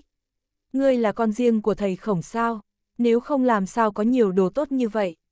Thế nào, ngươi nói chỉ cần không dùng A tử là được, thủ đoạn khác mặc ta tuyển, ta cũng không có vi phạm quy định a. Trương Huyền nói, phốc, một hơi không có đi lên, Lộc Huynh phun ra một ngụm máu tươi. Chuyện này là sao? Hắn vốn cho rằng đối phương chỉ có tử dương thú, cái khác không có gì, chỉ cần hạn chế, liền có thể nhẹ nhõm đánh một trầu, nằm mơ cũng không nghĩ tới. Còn có một cái đỉnh, con mẹ nó, ta là muốn luận võ với ngươi, mà không phải giao thủ với thánh khí. Quy củ là không có vi phạm, nhưng này làm sao đánh? Căn bản không có cách nào đánh A. Ta nói, là không mượn bảo vật, không mượn thánh thú, ngươi có dám tỉ thí với ta không? Chính là dùng thực lực bản thân ngươi chiến đấu với ta. Lộc huynh cắn răng một cái nói. Sợ đối phương lấy thêm ra pháp bảo lợi hại gì, hắn nói thẳng dùng thực lực chiến đấu. a à, ngươi muốn luận võ với ta. Trương Huyền híp mắt. Không sai, ngươi có dám đáp ứng không? Lộc huynh cắn răng. Hắn luôn kiêu ngạo, kết quả hôm nay chịu đến khuất nhục, còn nhiều hơn cả một đời trước đó, nếu không phát tiết ra ngoài, về sau đoán chừng sẽ dừng bước ở đây. Mặc dù đường đường là bán thánh khiêu chiến đạp hư cảnh có vẻ lấy lớn hiếp nhỏ, nhưng đối phương thủ đoạn phong phú, tầng tầng lớp lớp, xem như hắn cũng cảm thấy chưa chắc có hoàn toàn chiến thắng. Cá cược gấp bội. Trương Huyền nhàn nhạt nhìn qua. Muốn luận võ với hắn, cũng không phải không thể được, chỉ cần đủ tiền, mọi chuyện đều dễ thương lượng. Tốt. Lộc huynh mắt sáng lên, gật đầu. Nhớ kỹ, vừa rồi ngươi thua, đã nợ ta 100 viên linh thạch thượng phẩm. Trương Huyền nói, yên tâm, chỉ cần ta thua, linh thạch sẽ giao, đương nhiên, nếu ngươi thua, cũng hy vọng có thể thực hiện cá cược. Lộc huynh khẽ nói, không có vấn đề, như vậy đi, ta cũng không khi dễ ngươi, cho ngươi điều tức một canh giờ, đợi thương thế không sai biệt lắm lại chiến đấu, nếu không, ta sợ ngươi thua không thừa nhận. Trương Huyền nói tiếp, ngươi, đối phương rõ ràng là có hảo ý, nhưng chẳng biết tại sao nghe vào trong tai hắn, lại giống như đang cười nhạo, Lộc huynh tức thiếu chút nữa lại phun ra một ngụm máu, chậm cả buổi, lúc này mới hít sâu một hơi. Tốt, sức chiến đấu của hắn mãnh liệt như vậy, là trải qua vô số chém giết mới ma luyện ra, biết thời khắc mấu chốt không thể hành động theo cảm tính, một canh giờ, mặc dù thương thế không thể hoàn hảo, nhưng có thể để cho sức chiến đấu khôi phục lại 95% trở lên. Đối với hắn, cái này là đủ rồi. Ngô Hư, đưa cho ta hai viên tiểu hoàn đan. Quay đầu nhìn về phía Ngô Hư. Vâng. Ngô Hư gật đầu, mặc dù có chút không nỡ, nhưng biết Lộc Huynh là vì hắn mới bị thương, lấy ra hai viên thuốc đưa tới. Tiểu hoàn đan là đan dược cấp 6, thánh giả dùng khôi phục thương thế cũng có hiệu quả trị liệu cực lớn, dùng hai viên, coi như không thể hoàn toàn khôi phục, cũng có thể tốt hơn rất nhiều. Tiếp nhận tiểu hoàn đan, há miệng nuốt xuống, dược lực hòa tan, sắc mặt nguyên bản trắng bệch khôi phục nhanh chóng. Chủ nhân, tên này có thể chống đỡ một kích của ta còn không chết, thực lực không đơn giản a. Nhìn hắn khôi phục thương thế, Kim Nguyên Đỉnh nhìn về phía Trương Huyền, Tử Dương thú cũng nhìn lại. Một thú một đỉnh đều giao thủ qua với Lộc Huynh, mặc dù thoạt nhìn giống như trà đạp hải đồng, nhưng chúng nó biết, thực lực của người này không đơn giản, mặc dù chủ nhân cũng không yếu, nhưng so sánh với nhau, chỉ sợ còn kém không ít. Ta biết, Trương Huyền gật đầu. Thông qua minh lý chi nhãn cùng thiên đạo thư viện, hắn tự nhiên biết thực lực của đối phương cực mạnh, hắn đích xác không bằng. Nhưng chiến đấu chân chính cùng lực lượng mạnh mẽ là một chuyện, tùy cơ ứng biến cùng phán đoán, lại là một chuyện khác. Mặc dù hắn tự nhận là chắc chắn sẽ không thua, nhưng để cho an toàn, vẫn phải chuẩn bị một chút, nguyên nhân chính là như thế, mới cho đối phương khôi phục một canh giờ. Thời gian này, cho đối phương khôi phục thương thế, cũng cho hắn thời gian giảm sóc. Các người có công pháp tu luyện đạp hư cảnh không? Càng nhiều càng tốt. Trương Huyền nhìn về phía đám người hồ yêu yêu. Phương pháp tăng thực lực lên nhanh nhất, chính là tu luyện. Một canh giờ, đối với người khác không tính là gì, nhưng đối với hắn, chỉ cần gom góp thiên đạo công pháp, hoàn toàn có thể nhanh chóng tân cấp. Có. Đám người hồ yêu yêu gật đầu. Các nàng thân là cường giả tầm phong cảnh đỉnh phong, nên có không ít công pháp đạp hư cảnh, một là tự mình tu luyện, thứ hai, cũng tiện giảng giải cho thuộc hạ, mỗi người đều sao chép không dưới mấy trăm quyển. Tập hợp lại, con mắt của Trương Huyền đảo qua, lập tức thu vào trong óc. Tầm phong cảnh thì sao? Tinh thần khẽ động, tạo thành một bản thiên đạo thư tịch, Trương Huyền hỏi lần nữa. Công pháp bí tịch tầm phong cảnh không nhiều, ta chỉ có 20 bản. Ta cũng chỉ có hơn 20 bản, đồng hân so sánh cẩn thận, có thể có nhiều hơn một ít. Ta có một ít, nhưng chỉ có hơn 40 bản. chương 1594, đột phá, tầm phong cảnh. 2. Rất nhanh công pháp tầm phong cảnh của bốn người cũng góp lại, đại khái chừng 100 bản. Tiếp tục thu vào, sửa soạn xong hết, lúc này Trương Huyền mới nhìn sang. Giống như suy đoán, thiên đạo công pháp đạp hư cảnh nhẹ nhõm góp đủ, tầm phong cảnh thì rõ ràng còn kém một đoạn rất lớn. Nhưng phương pháp đột phá tầm phong cảnh, ngược lại cực kỳ hoàn chỉnh. Nói cách khác, thiên đạo công pháp từ đạp hư cảnh sơ kỳ, đến tầm phong cảnh sơ kỳ, toàn bộ gom góp. Thay ta thủ hộ, ta muốn tu luyện. Mặc dù không có siêu tập được công pháp tầm phong cảnh đỉnh phong, nhưng tới tầm phong cảnh, Trương Huyền cũng cảm thấy rất hài lòng, cười cười, phân phó đám người hồ yêu yêu một câu. Vâng, mọi người gật đầu, cả đám liếc mắt nhìn nhau, khắp khuôn mặt là vẻ cổ quái. Muốn tỉ võ, người lại tu luyện, nước tới chân mới nhảy, có phải có chút quá muộn hay không? Mặc dù trong lòng nghi ngờ, nhưng đối phương đã nói, mấy người vẫn gật đầu, chặn hắn ở phía sau, nhìn chằm chằm ngô hư cách đó không xa, sợ hắn thừa cơ làm loạn. Nhưng bất kể ngô hư hay lộc huynh, đối với xích huynh quả có chút chỉ vì cái trước mắt, nhưng ở trên tỉ thí, lại cực kỳ kiêu ngạo, không hề qua tới quấy rối, tất cả đều toàn lực khôi phục thương thế.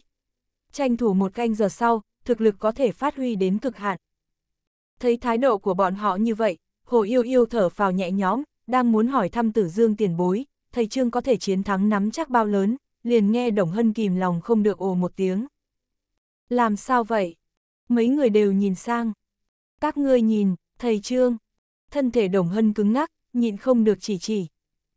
Thầy Trương. Đám người Hồ Yêu Yêu nhìn sang, tất cả đều sững sờ. Tại sao ta cảm giác, thực lực của thầy Trương, hình như là đạp hư cảnh trung kỳ. Long Thương Nguyệt có chút nhịn không được nói. Vừa rồi thầy Trương ra tay, bọn họ nhìn rõ rõ ràng ràng, chỉ là đạp hư cảnh sơ kỳ, vì sao mấy người thủ ở phía trước, cảnh giác đám người ngô hư vài phút, liền cảm giác thực lực của người này có vẻ như đột phá.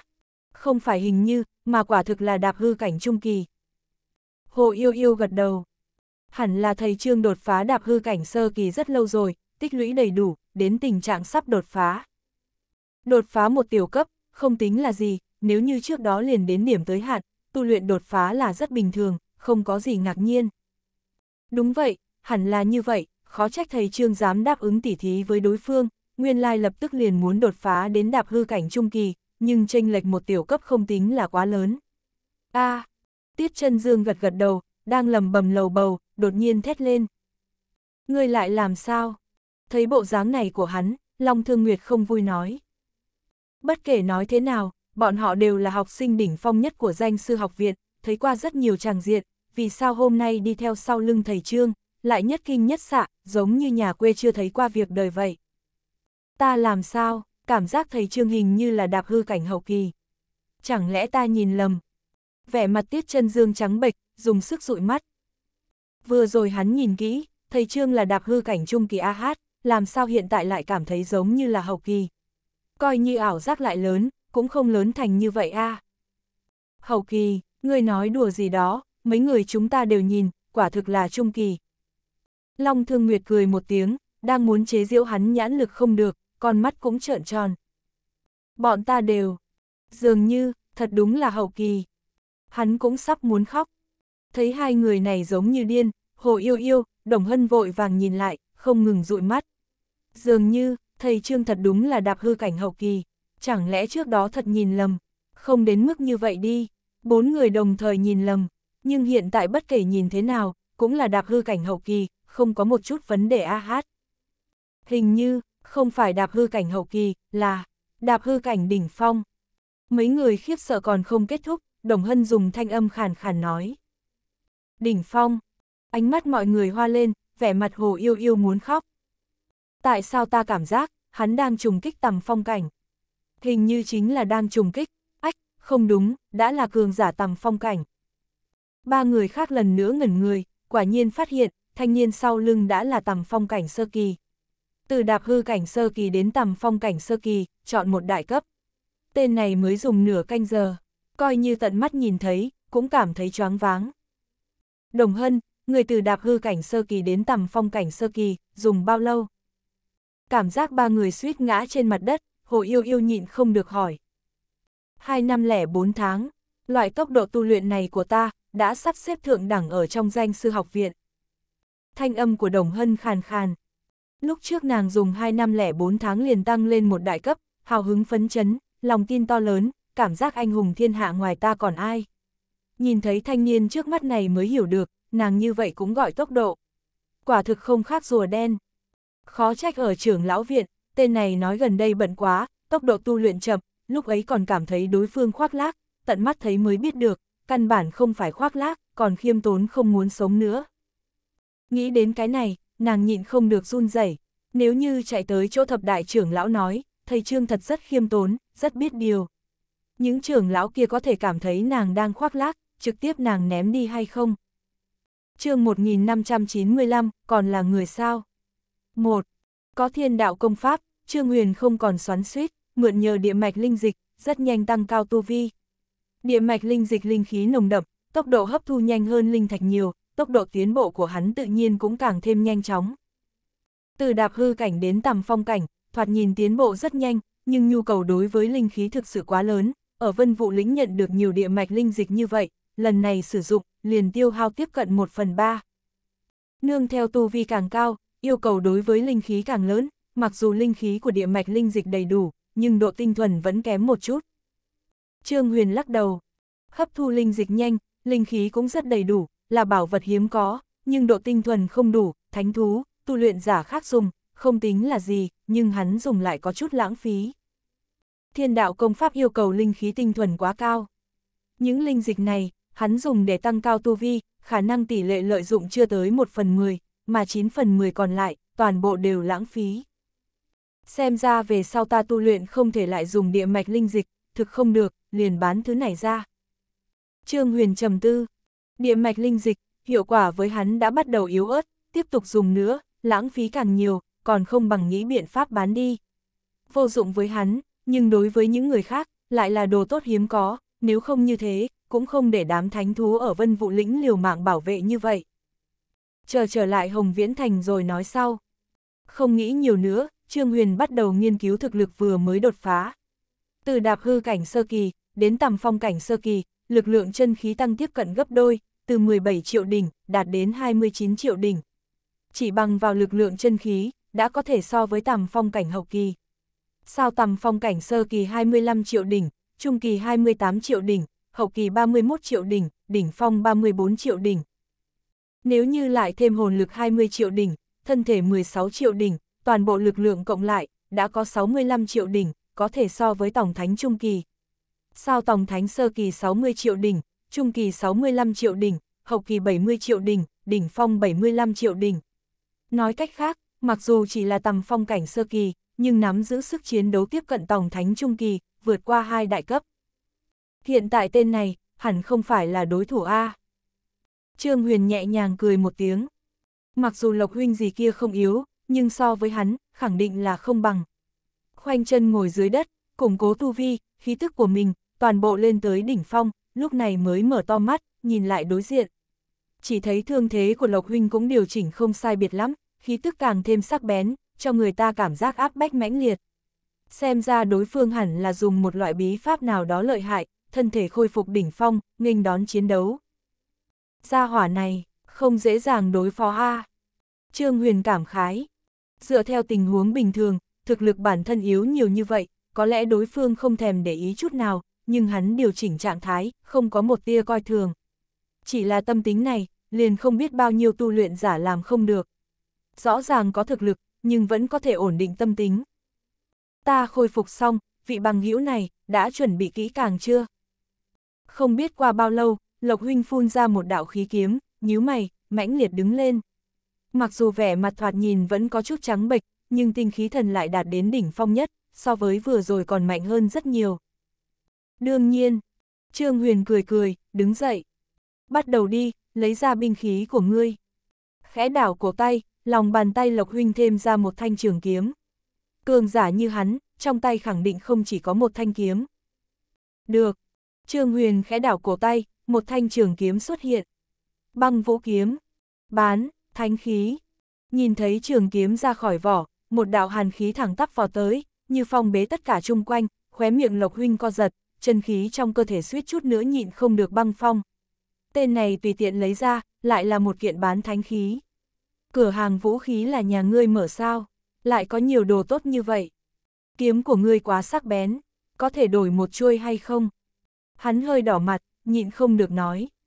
Trong tay hắn là linh khí tuyệt phẩm, cùng bán thánh khí của đối phương tồn tại bản chất khác nhau, thật muốn chiến đấu, chỉ bằng vào trường kiếm sắc bén, sức chiến đấu của đối phương liền có thể gia tăng năm thành, mà năng lực của hắn lại bị suy yếu năm thành.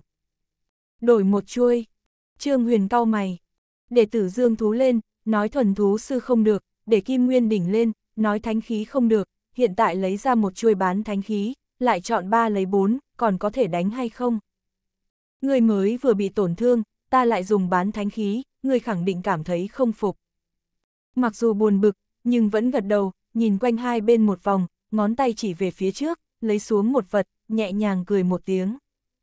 Ta dùng cái này chiến đấu với ngươi. Cẩu vĩ thảo sao cỏ đuôi chó. Đám người hồ yêu yêu lảo đảo. Chỉ thấy Trương Huyền vừa mới hái, là một cây cẩu vĩ thảo. Dùng cái này tỉ thí, đối phương là bán thánh, hơn nữa còn không phải bán thánh bình thường, có thể vượt cấp khiêu chiến, coi như người đột phá, cũng không nên khinh địch như vậy a. Thật quá đả kích người. Nhìn ra bọn hắn lo lắng, Trương Huyền nhẹ nhàng cười một tiếng, cỏ đuôi chó ở trong ngón trỏ, ngón giữa, chân khí khẽ động, nguyên bản uốn lượn lập tức thẳng lên, tựa như một thanh trường kiếm. chương 1596, còn là người sao? 2. Kiếm thuật đi đến cảnh giới cao thâm, không trệ ở vật, cỏ cây trúc đá đều có thể làm kiếm, này là cỏ đuôi chó không giả, nhưng dùng tốt, liền không chỉ là lực lượng của cỏ dại. Trương Huyền nhẹ nhàng cười một tiếng, cỏ đuôi chó vạch một cái, một cây đại thụ lập tức cắt thành hai đoạn. Chân khí thật tinh thuần. Con người của Lộc Huynh co rụt lại. Mặc dù đối phương cầm là cỏ đuôi chó, trên thực tế là chân khí làm mũi kiếm, để chân khí sắc bén giống như mũi kiếm chân chính. Cái kia tinh khiết đến mức nào, chí ít hắn làm không được. Bắt đầu đi, biết coi như đối phương dùng cỏ dại, thực lực cũng sẽ không giảm bao nhiêu, Lộc Huynh hét dài một tiếng, thân thể nhoáng một cái, công kích trước. Ông, trường kiếm lăng không, kiếm khí tung hoành, vừa ra tay, hắn liền thi triển ra toàn bộ lực lượng, không có bởi vì thực lực đối phương yếu, lại dùng chó đuôi mà coi thường. Đến hay lắm, Trương Huyền nhẹ nhàng cười một tiếng, cũng không tránh né, cỏ dài trong tay hóa thành kiếm mang điểm tới, đâm thẳng dưới nách đối phương. Lần này đâm vào là kẽ hở khi đối phương giơ kiếm. Phàm là người luyện kiếm, một khi xuất kiếm, dưới nách tất nhiên là trống không, chỉ là tốc độ nhanh hay chậm mà thôi, nguyên nhân chính là như thế, nơi này là đối phó cao thủ kiếm thuật thường xuyên dùng, rất nhiều cường giả đã sớm luyện kẽ hở này thành nơi công phòng ngự nghiêm mật nhất. Lộc Huynh cũng không ngoại lệ. Soạt, mặc dù nghi ngờ, tại sao đối phương lại dùng kiếm chiêu cơ sở nhất đối phó, hắn vẫn không dám coi thường, bàn tay nhẹ nhàng lắp một cái, phòng bế kiếm chiêu của đối phương, cùng thời khắc đó, kiếm khí lan tràn ra, đâm thẳng mặt của Trương Huyền. Một chiêu phòng thủ thêm phản công, đổi bị động thành chủ động. Không tệ, đúng quy đúng củ, nhưng vẫn kém chút. Trương Huyền lắc cỏ đuôi chó một cái, tình huống đột nhiên thay đổi, toàn bộ cây cỏ giống như dây thừng, cong thành 90 độ. Cái gì? Con người Lộc Huynh co rụt lại, sắc mặt trắng nhợt.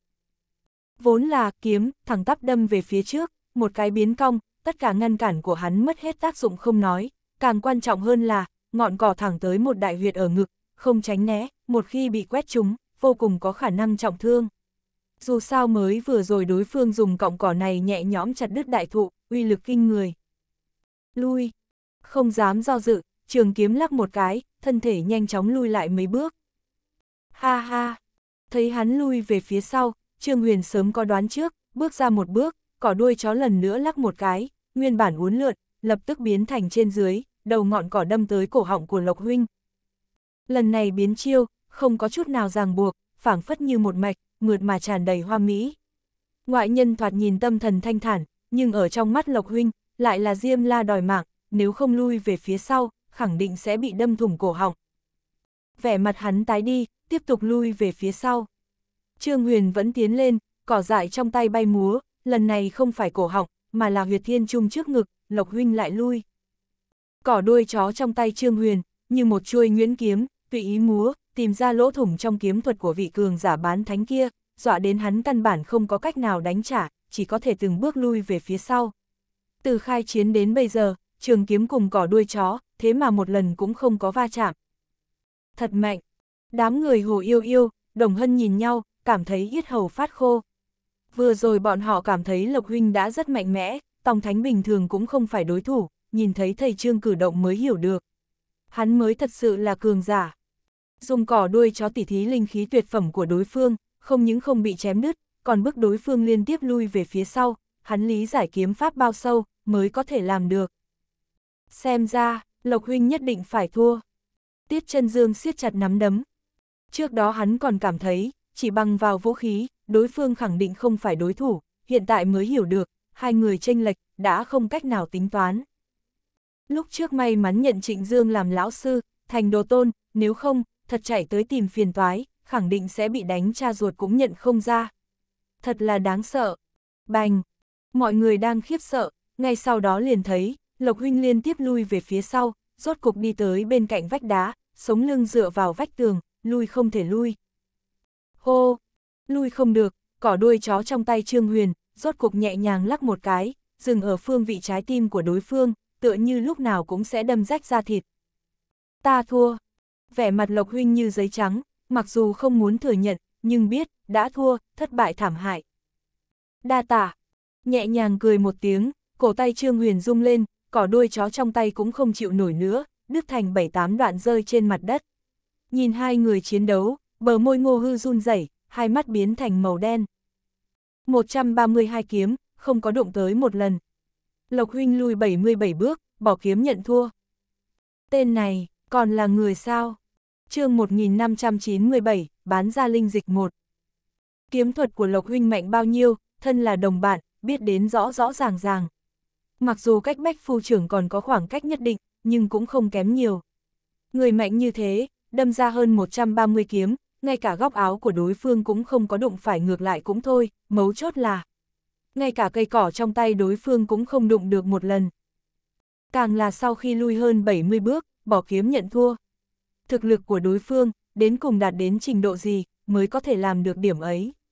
Buồn cười nhóm người mình còn cảm thấy chiến lực phi phàm, quyết tâm giao đấu với đối phương. Quả thực tự rước lấy nhục. Lộc Huynh, vội vàng tiến lên, đi tới trước mặt Lộc Huynh, chỉ thấy hắn mặt xám như cho, như bị đả kích cực lớn, đến bây giờ còn không thể khôi phục. Cho hắn 300 linh thạch thượng phẩm. Lộc Huynh khoát tay áo. Lần thứ nhất đánh cược, thua 100, về sau gấp bội, tổng cộng 300 linh thạch thượng phẩm. Vâng. Ngô hư trần chờ một chút, cắn răng lấy ra một đống linh thạch dùng chân khí bao vây đưa tới, không nhiều không ít, vừa vặn 300. Ta liền từ chối thì bất kính. Thấy đối phương thật lấy ra nhiều linh thạch thượng phẩm như vậy, ánh mắt Trương Huyền sáng lên, thu vào không gian giới chỉ. Vốn nghĩ đánh cực nhiều như vậy, chỉ là thuận miệng nói một chút, không có trông cậy vào đối phương có thể lấy ra, dù sao nhiều linh thạch như vậy, coi như đám người mi trưởng lão cũng không có. Ai ngờ đối phương nhẹ nhõm lấy ra, chẳng lẽ hai tên này, thực lực không chỉ mạnh, còn là siêu cấp thổ hào. Nếu như vậy, phải nghĩ biện pháp lợi nhuận nhiều một chút. Trương Huyền suy tư, tại Hạ Lộc Thành, tài nghệ không bằng người, hôm nay liền làm phiền, mong có thể lưu họ tên, về sau có cơ hội gặp lại. Từ trong cảm xúc chiến bại khôi phục lại, Lộc Huynh ôm quyền nói. Thua thì thua, không thừa nhận cũng hết cách rồi, huống chi phía trước còn có tử dương thú cùng khí đỉnh nhìn chằm chằm. Tại hạ Trương Huyền, Trương Huyền nhẹ gật đầu. Cũng không tính quấy dày, luận bàn giao lưu mà thôi. Nếu như ta không nhìn lầm, các người muốn lấy được xích huỳnh quả như thế, là vì để thầy ngô đột phá A. Không sai. Lộc Thành gật đầu. Hiệu quả lớn nhất của xích huỳnh quả, chính là để cho người ta đột phá bán thánh gia tăng tỷ lệ, hắn đã sớm đạt đến, tự nhiên là vì bằng hữu mới lao lực. Kỳ thật vừa rồi thời điểm chiến đấu với thầy Ngô, ta quan sát kỹ, tích lũy hùng hậu, thực lực mạnh mẽ, sở dĩ một mực không cách nào đột phá, cũng không phải tu vi không đủ, mà là... Trương Huyền dừng một chút. Là cái gì? Ngô hư nhịn không được nhìn qua. Hắn bị vây ở tầm phong cảnh đã lâu, không ít người cùng một chỗ tu luyện, đều đã đột phá ràng buộc, chỉ có hắn khó tiến, đã sớm nóng lòng không ngớt.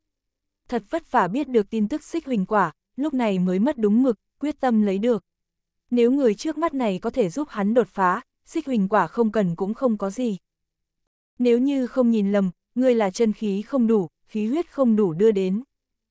Trương Huyền nói, chân khí không đủ, khí huyết không đủ. Lộc Thành cùng ngô hư cao mày.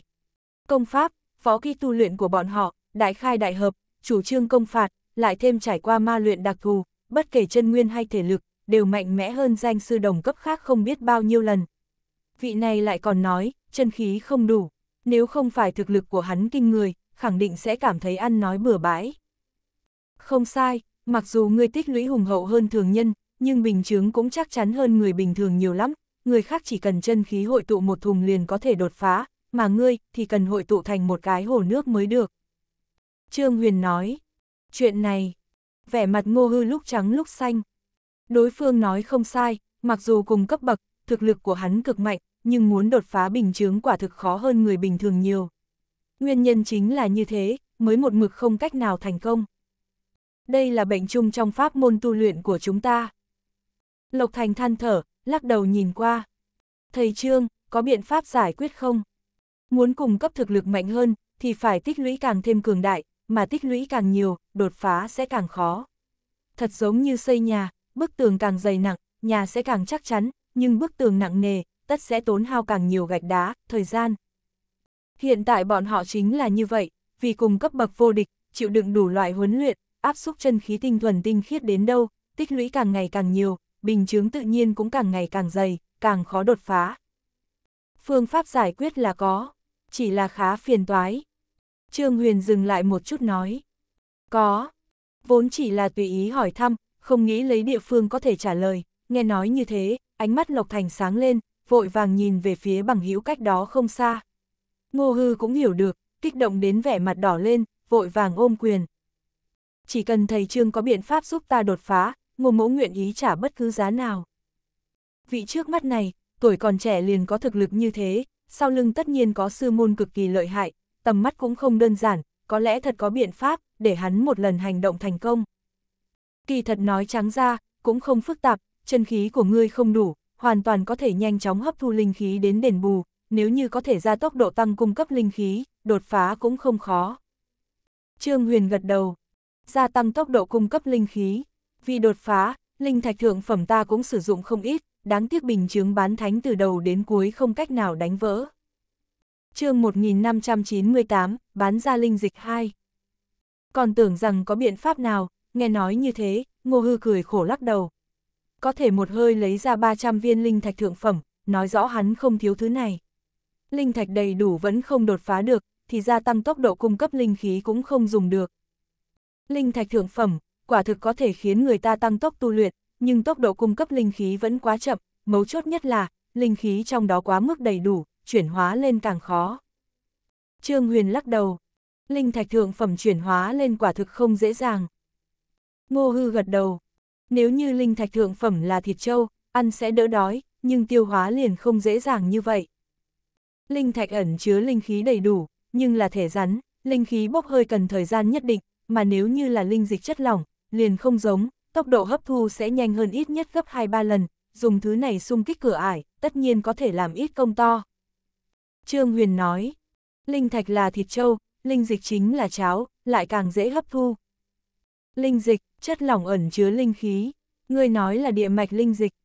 Lộc Thành suy nghĩ một chút, lông mày nhịn không được dương lên. Chất lỏng ẩn chứa linh khí có không ít, nhưng ở cấp bậc bán thánh, hiệu quả tốt nhất là địa mạch linh dịch. Tiêu hóa cái khác, so với linh thạch thượng phẩm còn khó hơn. Không sai, loại linh dịch này do linh khí trong địa mạch hội tụ thành, tinh thuần không nói, càng quan trọng hơn là hấp thu tương đối đơn giản, rất dễ dàng chuyển hóa thành chân khí. Nếu như hấp thu cái này đột phá, sẽ dễ dàng hơn không ít. Người cũng có thể trong thời gian ngắn tích lũy vô số chân khí, thuận lợi xông phá bình chướng. Trương Huyền nhẹ gật đầu. Địa mạch linh dịch, thứ này chỉ có chỗ linh khí hội tụ, mới có thể hình thành, hơn nữa bình thường đều bị thế lực lớn chiếm cứ, còn ít ỏi hơn xích huỳnh quả, đi nơi nào tìm. Ngô hư cười khổ. Người người đều biết địa mạch linh dịch là đồ tốt, nhưng muốn tìm được, nào có dễ dàng như vậy. Coi như biết thứ này có chỗ tốt cực lớn với hắn, thế nhưng tìm không thấy a hát. Cái này, ta ở dưới cơ duyên xảo hợp từng chiếm được một chút, có điều ý định giữ lại bản thân sử dụng lúc xung kích bán thánh. Trương Huyền lắc đầu. Thầy Trương có. Ánh mắt ngô hư sáng lên. Có thể bán ra cho ta một chút hay không? Ta nguyện ý dùng linh thạch thượng phẩm mua. Cái này. Trương Huyền lộ vẻ khó khăn. Các người cũng biết thứ này khó kiếm, ta cũng không có quá nhiều, thực sự không tiện bán ra. Chỉ cần Trương Huynh nguyện ý bán cho ta, ta nguyện ra giá gấp đôi. Trần chờ một chút, ngô hư cắn răng. Bán thánh nhất định phải đột phá, nếu không vô cùng có khả năng bị đào thải, đã như vậy, tốn hao lại lớn cũng đáng giá.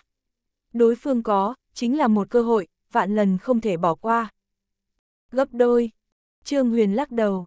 Thôi được, nếu ngươi muốn như vậy, mọi người cùng là danh sư, thực khó có thể cự tuyệt. Dứt lời, cổ tay khẽ đảo, lòng bàn tay thêm ra một hồ lô, chừng 6-7 cân. Đây là tất cả địa mạch linh dịch ta gom góp, liền cho ngươi hết. Trương Huyền khoát tay áo.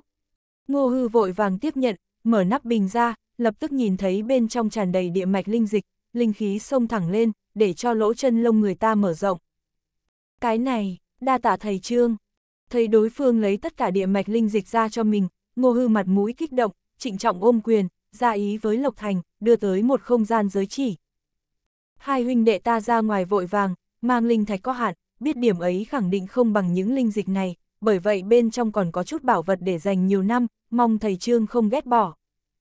Biết vị trước mắt này, nắm giữ thú sủng thánh giả cùng thánh khí không thiếu tiền, nhưng bọn hắn cũng không tiện lấy không, huống chi trước đó mới nói gấp đôi.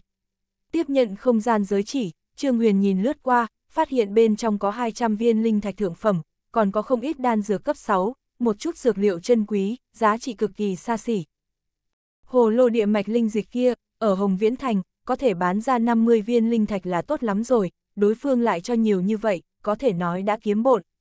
Cũng không phải đối phương người ngốc nhiều tiền, mà là vật hiếm thì quý, người bình thường không có tích lũy như gia hỏa kia, đột phá bán thánh dùng linh thạch thượng phẩm là được, căn bản không cần loại linh dịch này. Không có nhu cầu, tự nhiên không đáng giá. Địa mạch linh dịch ẩn chứa linh khí hùng hậu, sau khi trở về, điều dưỡng tốt thương thế, điều chỉnh trạng thái đến tốt nhất, thừa thế xông lên, đột phá ở trong tầm tay. Cất kỹ không gian giới chỉ, Trương Huyền thản nhiên nói. Vâng, Ngô Hư gật đầu. Vừa rồi hắn trúng một quyền của Trương Huyền, đến bây giờ còn không có hoàn toàn khôi phục, muốn đột phá, tự nhiên phải điều chỉnh tới trạng thái tốt nhất, ở đây, rõ ràng không thích hợp. Đa tạ thầy Trương, hai huynh đệ ta cáo từ. Đã được như nguyện, hai người cũng không dừng lại, Lộc Thành ôm quyền, hai người nhảy lên, mấy cái thiểm thước liền biến mất. Đa tạ ân cứu mạng của thầy Trương. Thấy hai người rời đi, lúc này đám người hồ yêu yêu mới thở phào nhẹ nhõm, nhìn về phía Trương Huyền tràn đầy sùng bái. Trước đó chỉ biết tên này chức nghiệp phụ tu mạnh mẽ, bây giờ mới biết, sao tu vi, phụ tu thật không đáng là gì. chương 1599, toàn bộ đột phá một. Nếu như không nhìn lầm, hai vị này hẳn là chiến sư. Thở ra một hơi, Trương Huyền trầm tĩnh lại, mới phát giác được toàn thân mỏi mệt. Chiến đấu với đối phương, thoạt nhìn nhẹ nhõm, nhưng trên thực tế tinh thần tập trung cao độ, tranh lệch một phân một hào cũng không được, chỉ chiến đấu vài phút, cả người tựa như hư thoát. Tuổi còn trẻ liền có sức chiến đấu như thế, trang phục danh sư lại không quá tương đồng của chúng ta, hẳn là vậy. Đồng Hân nhẹ gật đầu. Nàng xem qua không ít sách vở, biết chiến sư đáng sợ, trước đó không nghĩ tới nhiều như vậy, lúc này Trương Huyền nhắc nhở, lập tức hiểu được. Hai người này, thật là có khả năng, nếu không danh sư giao đấu, có rất nhiều phụ tu, rất ít trực tiếp so tu vi.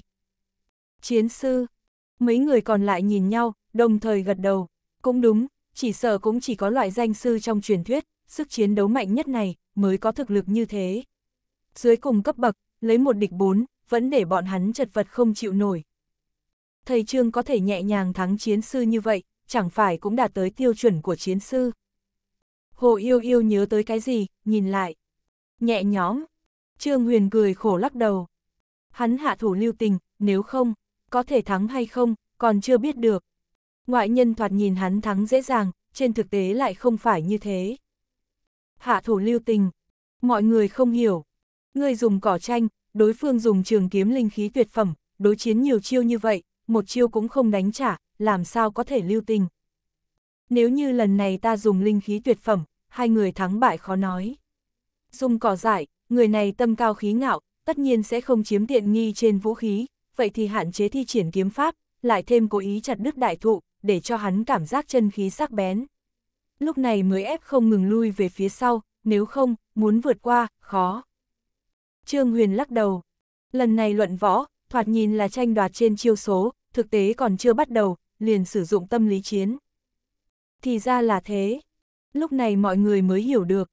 Vốn bọn họ không để ý cỏ dại, nhưng thầy trương tay nâng cỏ rơi, trong nháy mắt chặt đứt cổ thụ, một chiêu này, để hắn cảm nhận được tim đập nhanh. Chắc hẳn Lộc Thành kia cũng như vậy, lúc này mới không dám tiếp xúc cỏ dại, từ đó làm cho một chiêu mất đi tiên cơ, lại khó vãn hồi. Được rồi, không nghĩ nhiều như vậy, đây là xích huỳnh quả, điều chỉnh trạng thái, mau chóng dùng, tranh thủ trước khi trở về, đột phá ràng buộc. Điều tức một hồi, cảm giác thân thể khôi phục, lúc này Trương Huyền mới khẽ đảo cổ tay, lấy ra xích huỳnh quả. Thầy Trương, thật lấy được, làm sao lại ở trong tay ngươi? Tất cả mọi người nháy mắt, vẻ mặt không thể tin được. Bọn họ một mực trông coi ở ngoài sơn động, tận mắt thấy Lộc Thành, Ngô Hư xông vào, sau đó thất vọng trở về, chưa thấy qua thầy Trương đi vào. Làm sao xích huỳnh quả lại ở trên tay hắn? Ta từ sau sơn cốc tìm được một lối vào khác, trước thời hạn lẻn vào. Trương Huyền thuận miệng nói. Sự tình vu hồn không thể nói, tự nhiên chỉ có thể dùng lý do khác, còn sơn động có lối sau hay không, hiện tại vật tới tay, đoán chừng cũng không có người đi kiểm tra. Lợi hại. Tất cả mọi người sợ hãi thán phục, loại vận khí tốt này cũng đụng phải, mời hắn tới, thật quá đúng rồi. Cái này là địa mạch linh dịch, mỗi người một hồ lô, khôi phục thể lực, liền bắt đầu xung kích bán thánh. Cổ tay khẽ đảo, đưa tới bốn hồ lô địa mạch linh dịch. Bốn hồ lô này nhỏ hơn hồ lô bán cho ngô hư, có điều tràn đầy linh dịch, giá trị cũng không ít, tuyệt đối vượt qua nhất nguyên trọng thủy trước đó. Cái này, đa tạ thầy Trương, người trước mắt này vừa mới bán ra một hồ lô, bọn họ biết giá cả, nhiều như vậy, tuyệt đối vượt qua 50 viên linh thạch thượng phẩm, bây giờ lại trực tiếp đưa cho bọn họ. Phần ân tình này, quả thực khó mà trả lại. Hốc mắt tất cả đều đỏ lên, biết đột phá thành công, mới không cô phụ hy vọng của đối phương, bốn người lập tức tràn đầy đấu trí. Cô cô cô cục cục. Có tử dương thú cùng kim nguyên đỉnh thủ ở chung quanh, cũng không cần lo lắng có người qua quấy rối, bốn người khoanh chân ngồi dưới đất, bắt đầu tu luyện. Sau ba canh giờ, điều chỉnh trạng thái đến đỉnh phong nhất, bắt đầu dùng xích huỳnh quả. Không hổ là thánh dược tăng tỷ lệ đột phá bán thánh, sau khi dùng, tinh thần càng thêm cường đại, linh hồn cũng càng thêm rõ ràng, hồ yêu yêu được Trương Huyền chuyên môn chỉ điểm, đột phá nhanh nhất, đi đầu thành công. Sau đó là Đồng Hân, nữ hài này đã trải qua sự tình trưởng lão viện, tâm trí so với trước càng thêm kiên định, theo sát ở phía sau đột phá, thành cường giả bán thánh.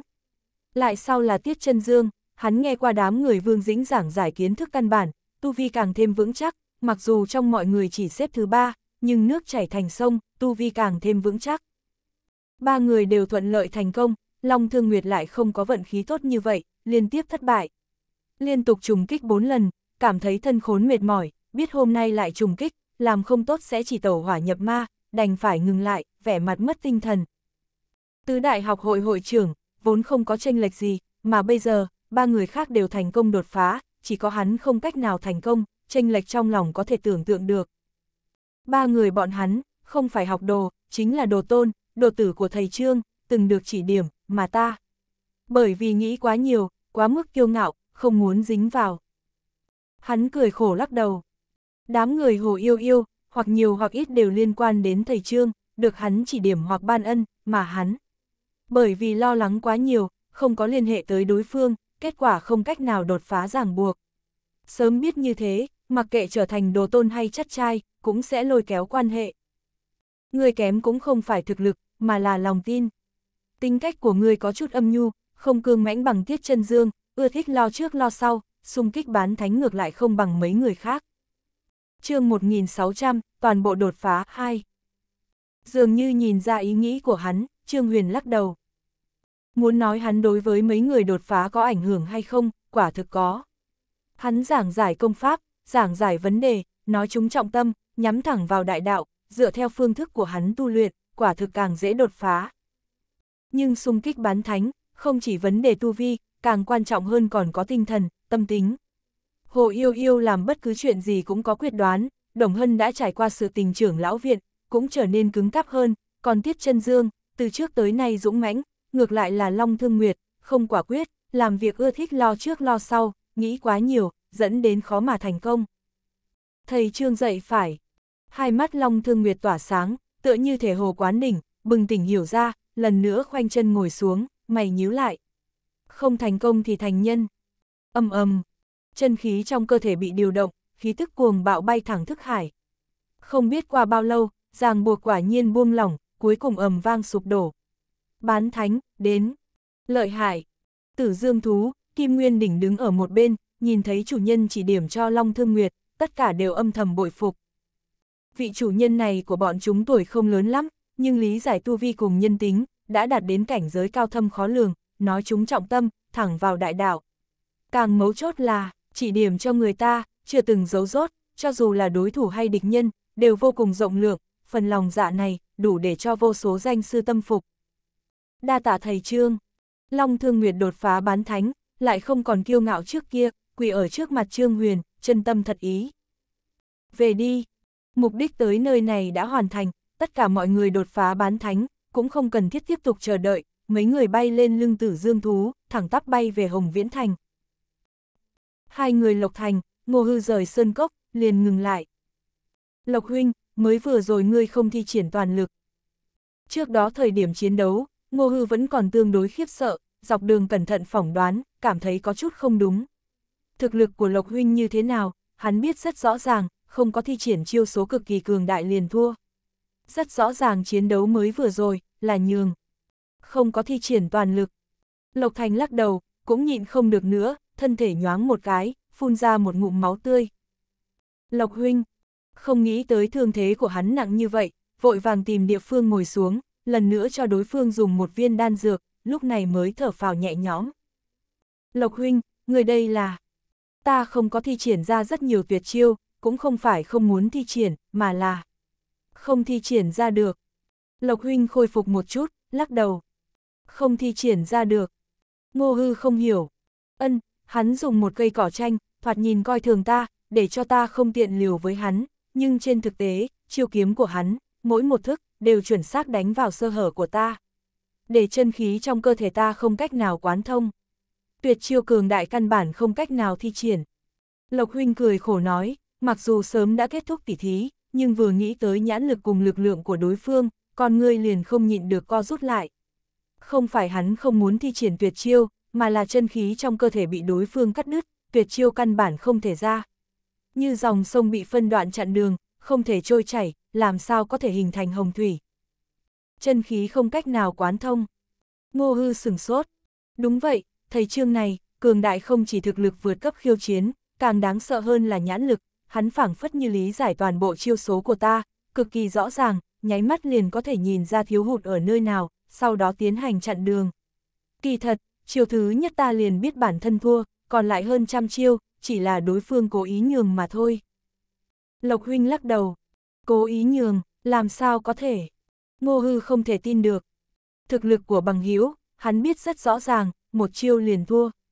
Bản thân làm sao không cảm giác được, đối phương nhường. Ngươi không tin, vậy ta sẽ nói cho ngươi biết. Trước đó ta bị tử dương thú cùng lô đỉnh đánh trọng thương, mặc dù trải qua một canh giờ khôi phục, nhưng không phải hoàn hảo. Điểm ấy, có lẽ ngươi rõ ràng. Lộc huynh nói. Ân. Ngô hư gật đầu. Mới vừa rồi thời điểm bị đánh, hắn ở bên cạnh, làm sao không biết. Ta vận dụng bí pháp, chân áp thương thế, chúng ta đồng môn đồng nguyên, bí pháp này, chắc hẳn ngươi cũng biết. Lộc huynh nói tiếp. Vâng, hồ ba tiền bối lưu lại, hồ ba liệu thương pháp. Ngô hư lên tiếng. Audio điện tử võ tấn bền.